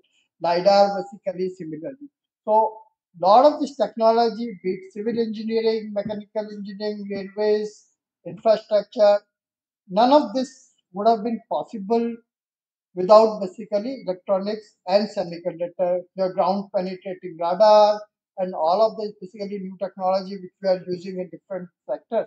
There is a element of electronics and semiconductor which has enabled basically all of those things. Primary function is still civil engineering or mechanical engineering, but electronics, semiconductor, sensors, communication that has made all of these sectors more efficient, more better, and more basically advanced techniques, right? So today we consume about 200 billion dollar of electronics in this country, right? Uh, and basically the expectation is by 2047 it will become a 4 trillion dollar basically consumption of electronics all because of basically young aspirational generation consuming a lot of electronics products and electronics going basically across all the sectors, it transportation, railways, everything, right? And semiconductor, which is about 25 billion, it will go to about 700 billion dollars, right? So I think these are the huge numbers. Uh, uh, uh, today, basically, we are talking about uh, railway budget. Uh, probably it's about 30 billion dollars if I convert the number of basically uh, uh, uh, which is basically in rupees, right? Uh, and more importantly, from 5% contribution to GDP today, it will become 15% contribution to the GDP by 2047, which is basically very, very significant number for a large economy to have one sector contributing basically about 15% of the economy uh, growth. Right? And similarly, it will contribute the uh, large number of jobs also, which will be in product design, manufacturing, service, all those kind of things. So we expect basically about 7% of the population that time will be employed in the electronics sector. And assuming 50% of the population is the working population, that becomes around 14, 15% of the basically employment also this sector will be able to generate. Now, if you look at any sector, basically from agriculture to healthcare and all those things, and uh, when I was looking at uh, Prasad sir slide, right, they did all the survey basically by putting the uh, GPS in the planes and things like that. But maybe tomorrow we can do all of that survey using the drones, right? We don't need to employ big planes. Basically, we can uh, basically put all the lidar and all the equipment on a uh, decent sized drone and then basically it will be much cheaper and much basically easier to navigate and so on and so forth. So it's everywhere, whether it's a climate, whether it's space, basically nothing would be possible basically uh, today or basically in another 25 years without electronics and semiconductors. So I think if you have to look at the self-reliance vision of electronics and semiconductor, uh, we saw $4 trillion market of 2047. Uh, it has to start with the products, right? Products which can go into various sectors, right? Uh, like LiDAR is a product, right? GPS is a product. Uh, product can be electronic system or could be a basically chip uh, which goes inside electronic system. And this uh, for after we design the product, it has to be manufactured, right? And manufacturing is basically more like a factory where large scale manufacturing gets done. Uh, for electronics manufacturing, we call it EMS, and semiconductor manufacturing generally referred as fab and basically ATP MP plant, right? Uh, you must have basically heard about recent announcement in Gujarat about Tata putting a fab. How many people have heard about basically Tata putting a fab in Gujarat? Quite a few, right? And so four projects have been basically approved in the semiconductor manufacturing. One Tata, one Micron, one CG Power, and so on and so forth. And then to serve all of these things, we need basically talent and manpower. And now, basically, things like electronics are becoming a multidisciplinary activity, right?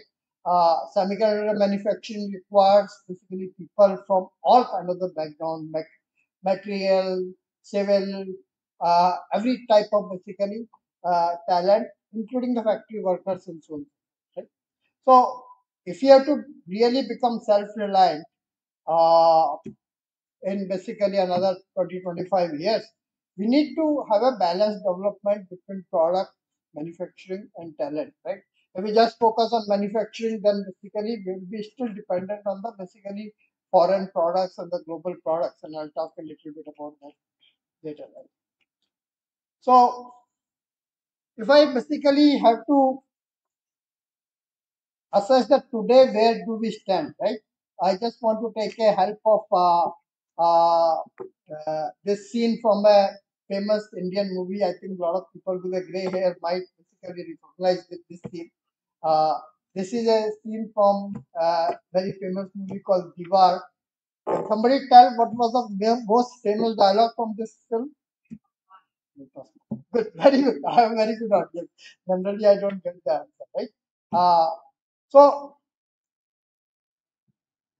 मेरे पास market है we have a very large market 200 billion today going to 4 trillion basically in basically another 25 right मेरे पास manpower भी है India is basically large uh, one of the largest pool of the talented engineers including all of you when basically you graduate you will be at the helm of the things when 9 2047 comes right and मेरे पास manufacturing भी है electronics manufacturing has made lot of strides basically in last decade or so right so we have basically three mass with us right now if you have to complete the family what do we need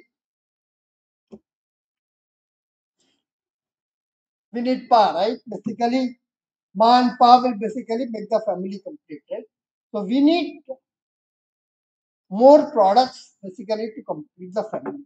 So today, if we look at the electronics, right, out of 200 billion dollars of basically products we consume, less than 10% of that is basically Indian products or Indian brands. And uh, some of the basically uh, people in my age group uh, will remember a lot of the brands like Videocon, Onida, BPL, where are they today? None of them exist today, right? So we have basically completely lost electronics products and electronics brands over basically last two, three decades, right? If we have to become really self-reliant, then basically we have to focus on the domestic products and domestic brand as much as basically we focus on the manufacturing and other things also. And that's how basically we can uh, become the self-sufficient in this domain, right? And just to look at the some numbers. Uh, so today we are 10, less than 10% of 200 billion dollars in electronics products, right? And if I look at the chips, probably we produce less than 1% of what we consume of about 25 billion dollars, right? Uh, in terms of products, not just manufacturing, right? And if we move forward to 2047, and if we take a modest goal that 33% of what we consume will be Indian products, right? with Indian brands, Indian products. That creates an opportunity of 1.33 trillion dollars. And when I say this, I say that we are living in a global world. So we have to basically work with global companies and everybody else also. But I think having 33% of the market share of what we consume is nothing unreasonable, basically, even in the globally cooperative world, right? How many of you today are carrying a phone with Indian brands? Zero, right? That's basically huge market, and we don't even have a single basically mobile phone brand in India. It's not a basically difficult technology to build today, but still we don't. And we consume almost 35 billion dollar of basically mobile phones today. 78% of that is basically Chinese brand. So that's basically if we don't basically move the needle in the right direction to basically capture at least one third of the market, I think we will basically become more and more dependent, even though we might have manufacturing, we might have basically manpower who is working for these global companies, but our dependence will keep on increasing, right? And same in the semiconductor, if it again shoot for 33% of the market, right? That's basically almost 233 billion dollar opportunity.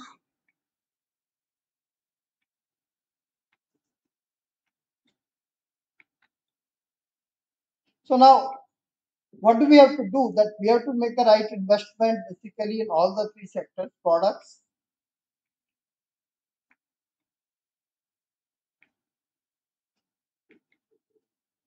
manufacturing, and the talent. So I think the PLI, India Semiconductor Mission type of things, where basically we have invested about 20 billion dollars so far, allocated, not invested uh, in this sector.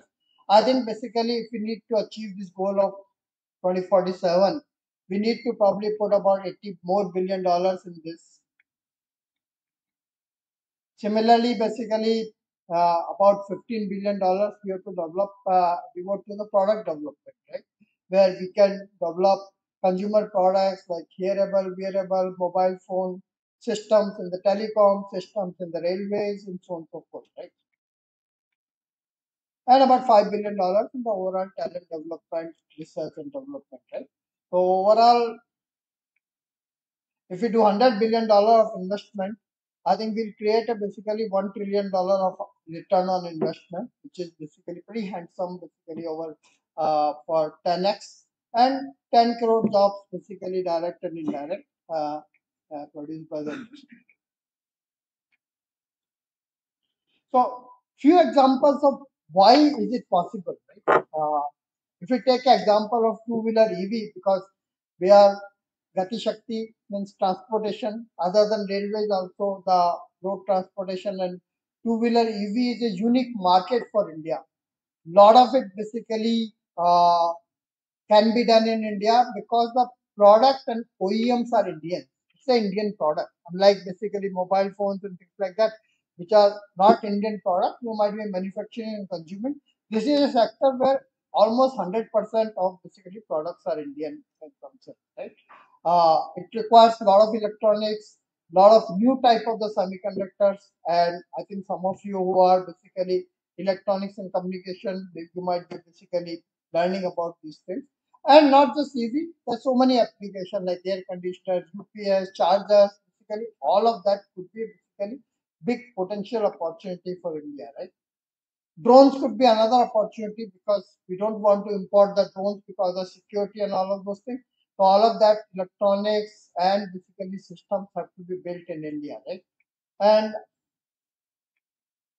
if we come to basically railways, uh, I don't know that much about railways. One of my reason for basically joining hands with uh, Manoj as a visiting faculty is to understand how we can connect basically electronics and semiconductor industry to railways. Like whenever we have basically semiconductor electronics event, I see very little participation from basically railways. So we don't even know what are the possibilities. But I can see now things like Vande Bharat, right? Why basically we cannot provide ubiquitous Wi-Fi in Vande Bharat train? Why cannot provide basically in-seat entertainment just like you get basically in the aircraft, right? These are the things which are very doable, but we can only think at the concept level, the level of the details and difficulty and the challenges we face in implementing this thing. We have to basically learn from you. How can we make make things like Kavach basically more industrial product and basically kind of a uh, bring all the latest technology to make it basically world's best product, right? Uh, for example, when I talk to people that what is the best Indian product in electronics India has developed. Right? Can somebody guess? EVM. So EVM is the basically one of the fantastic product which is completely Indian design, completely basically developed by India, and it is one of the best products basically in the world, right? In this in its category. Right? Why can't we do basically same thing for basically things uh, we can do with the railways? There are so many opportunities which we can just basically think from as an outsider. But we want to work with basically people like you who are diggage in basically this field, Prasad sir, Pradeep sir, and the rest of the people who left, right? To really connect the world of electronics and semiconductor to world of railways, right? So that we can understand what is the possibility. If I say that out of thirty billion dollars, even ten percent of the budget goes to electronics, right? That is basically three billion dollar opportunity which we can do, and we can make basically our railway stations and trains and basically rest of the ecosystem much more advanced by using this technology. So I at least foresee immense amount of the opportunities, but to concretize it, we need to basically understand from people like you that what basically we can do. Where are the opportunities? Things like operational efficiency, maintenance, right? Uh, When a train or basically a locomotive needs maintenance, right? Right now we do it on a scheduled basis, right? But if we are basically measuring all the parameters, uh, just like we are doing for automotive and other sectors, right? we know when exactly basically there is a possibility of breakdown and do the maintenance before, right? And there are so many ways we can basically using electronics and AI, ML and things like that. We can increase the operational efficiency of our basically commercial freight and basically passengers and so on and so forth, right? Give better basically customer service to them, right? And safety, obviously, uh, uh, using the new technologies, be it LiDAR, be it sensors, whatever it is, right? I think we can make our transportation system. So I at least feel there are immense opportunities, but I have been in the basically uh, uh, electronics and semiconductor field. We have an association also, electronics and uh, IESA, and but whenever I talk to my peers, right, they don't know anything about railways. I don't know anything about railways that what we can do from an industry side because industry is primarily MNCs and so on and so forth. Other than few companies like Siemens and all of those things, we don't know what is the possibility. So I think we need your help in basically educating us that what can be done and then we will put our mind in that basically how can we build these technologies and make these products more basically uh, from India for India with latest technologies to make basically our railways best in the world. So I think uh, I just wanted to give a broad overview of basically what is happening in this field, what are the opportunity. But basically over the time, I want to interact with basically more of the faculty members and the leaders like uh, uh, the two of the ex-chairmen of the railway board and people like Prasad, uh, uh, Prasadji and Pradeep and other people to really learn what can be done when we go back to basically our peers in the industry and the companies and say how we can do it. Thank you so much.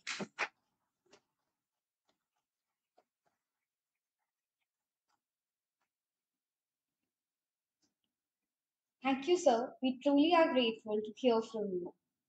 I kindly request our respected Vice Chancellor, sir, to present uh, Dr. Satya Gupta with a memento as a gesture of appreciation. Please, sir.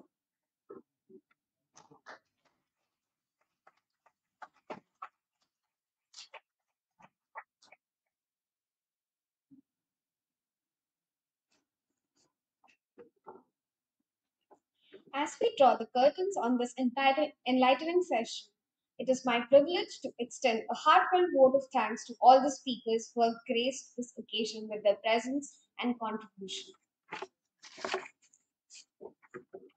Firstly, we extend our gratitude to Sri Ashwini Lohani sir for his exceptional leadership and visionary contributions.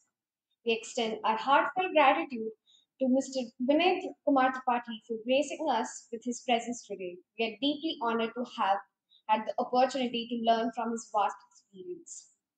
Next, we express our gratitude to Sri Rajendra Prasad sir for his expertise and innovative approach to railway operations, which have greatly enriched our discussions and broadened our perspective. We also thank Sri Sanjeev Garg sir for his strategic leadership in logistics and transport, which has brought a unique depth to our conversations and provided valuable insights. Lastly, we acknowledge Dr. Satya Gupta sir for his forward-thinking leadership in technology, which has laid the groundwork for future advancements in the field. We also extend our gratitude to DB Ray Engineering for sponsoring, sponsoring our event. To all our esteemed guests, respected BC Serve faculty members, and all the railway enthusiasts, your enthusiasm and engagement have made this event a success. We thank you for your active participation and for celebrating National Rail Transport Day with us. Thank you, one and all, for being a part of this memorable day. Let us continue to strive for excellence and innovation in the railway sector. Have a great, great evening ahead. Thank you.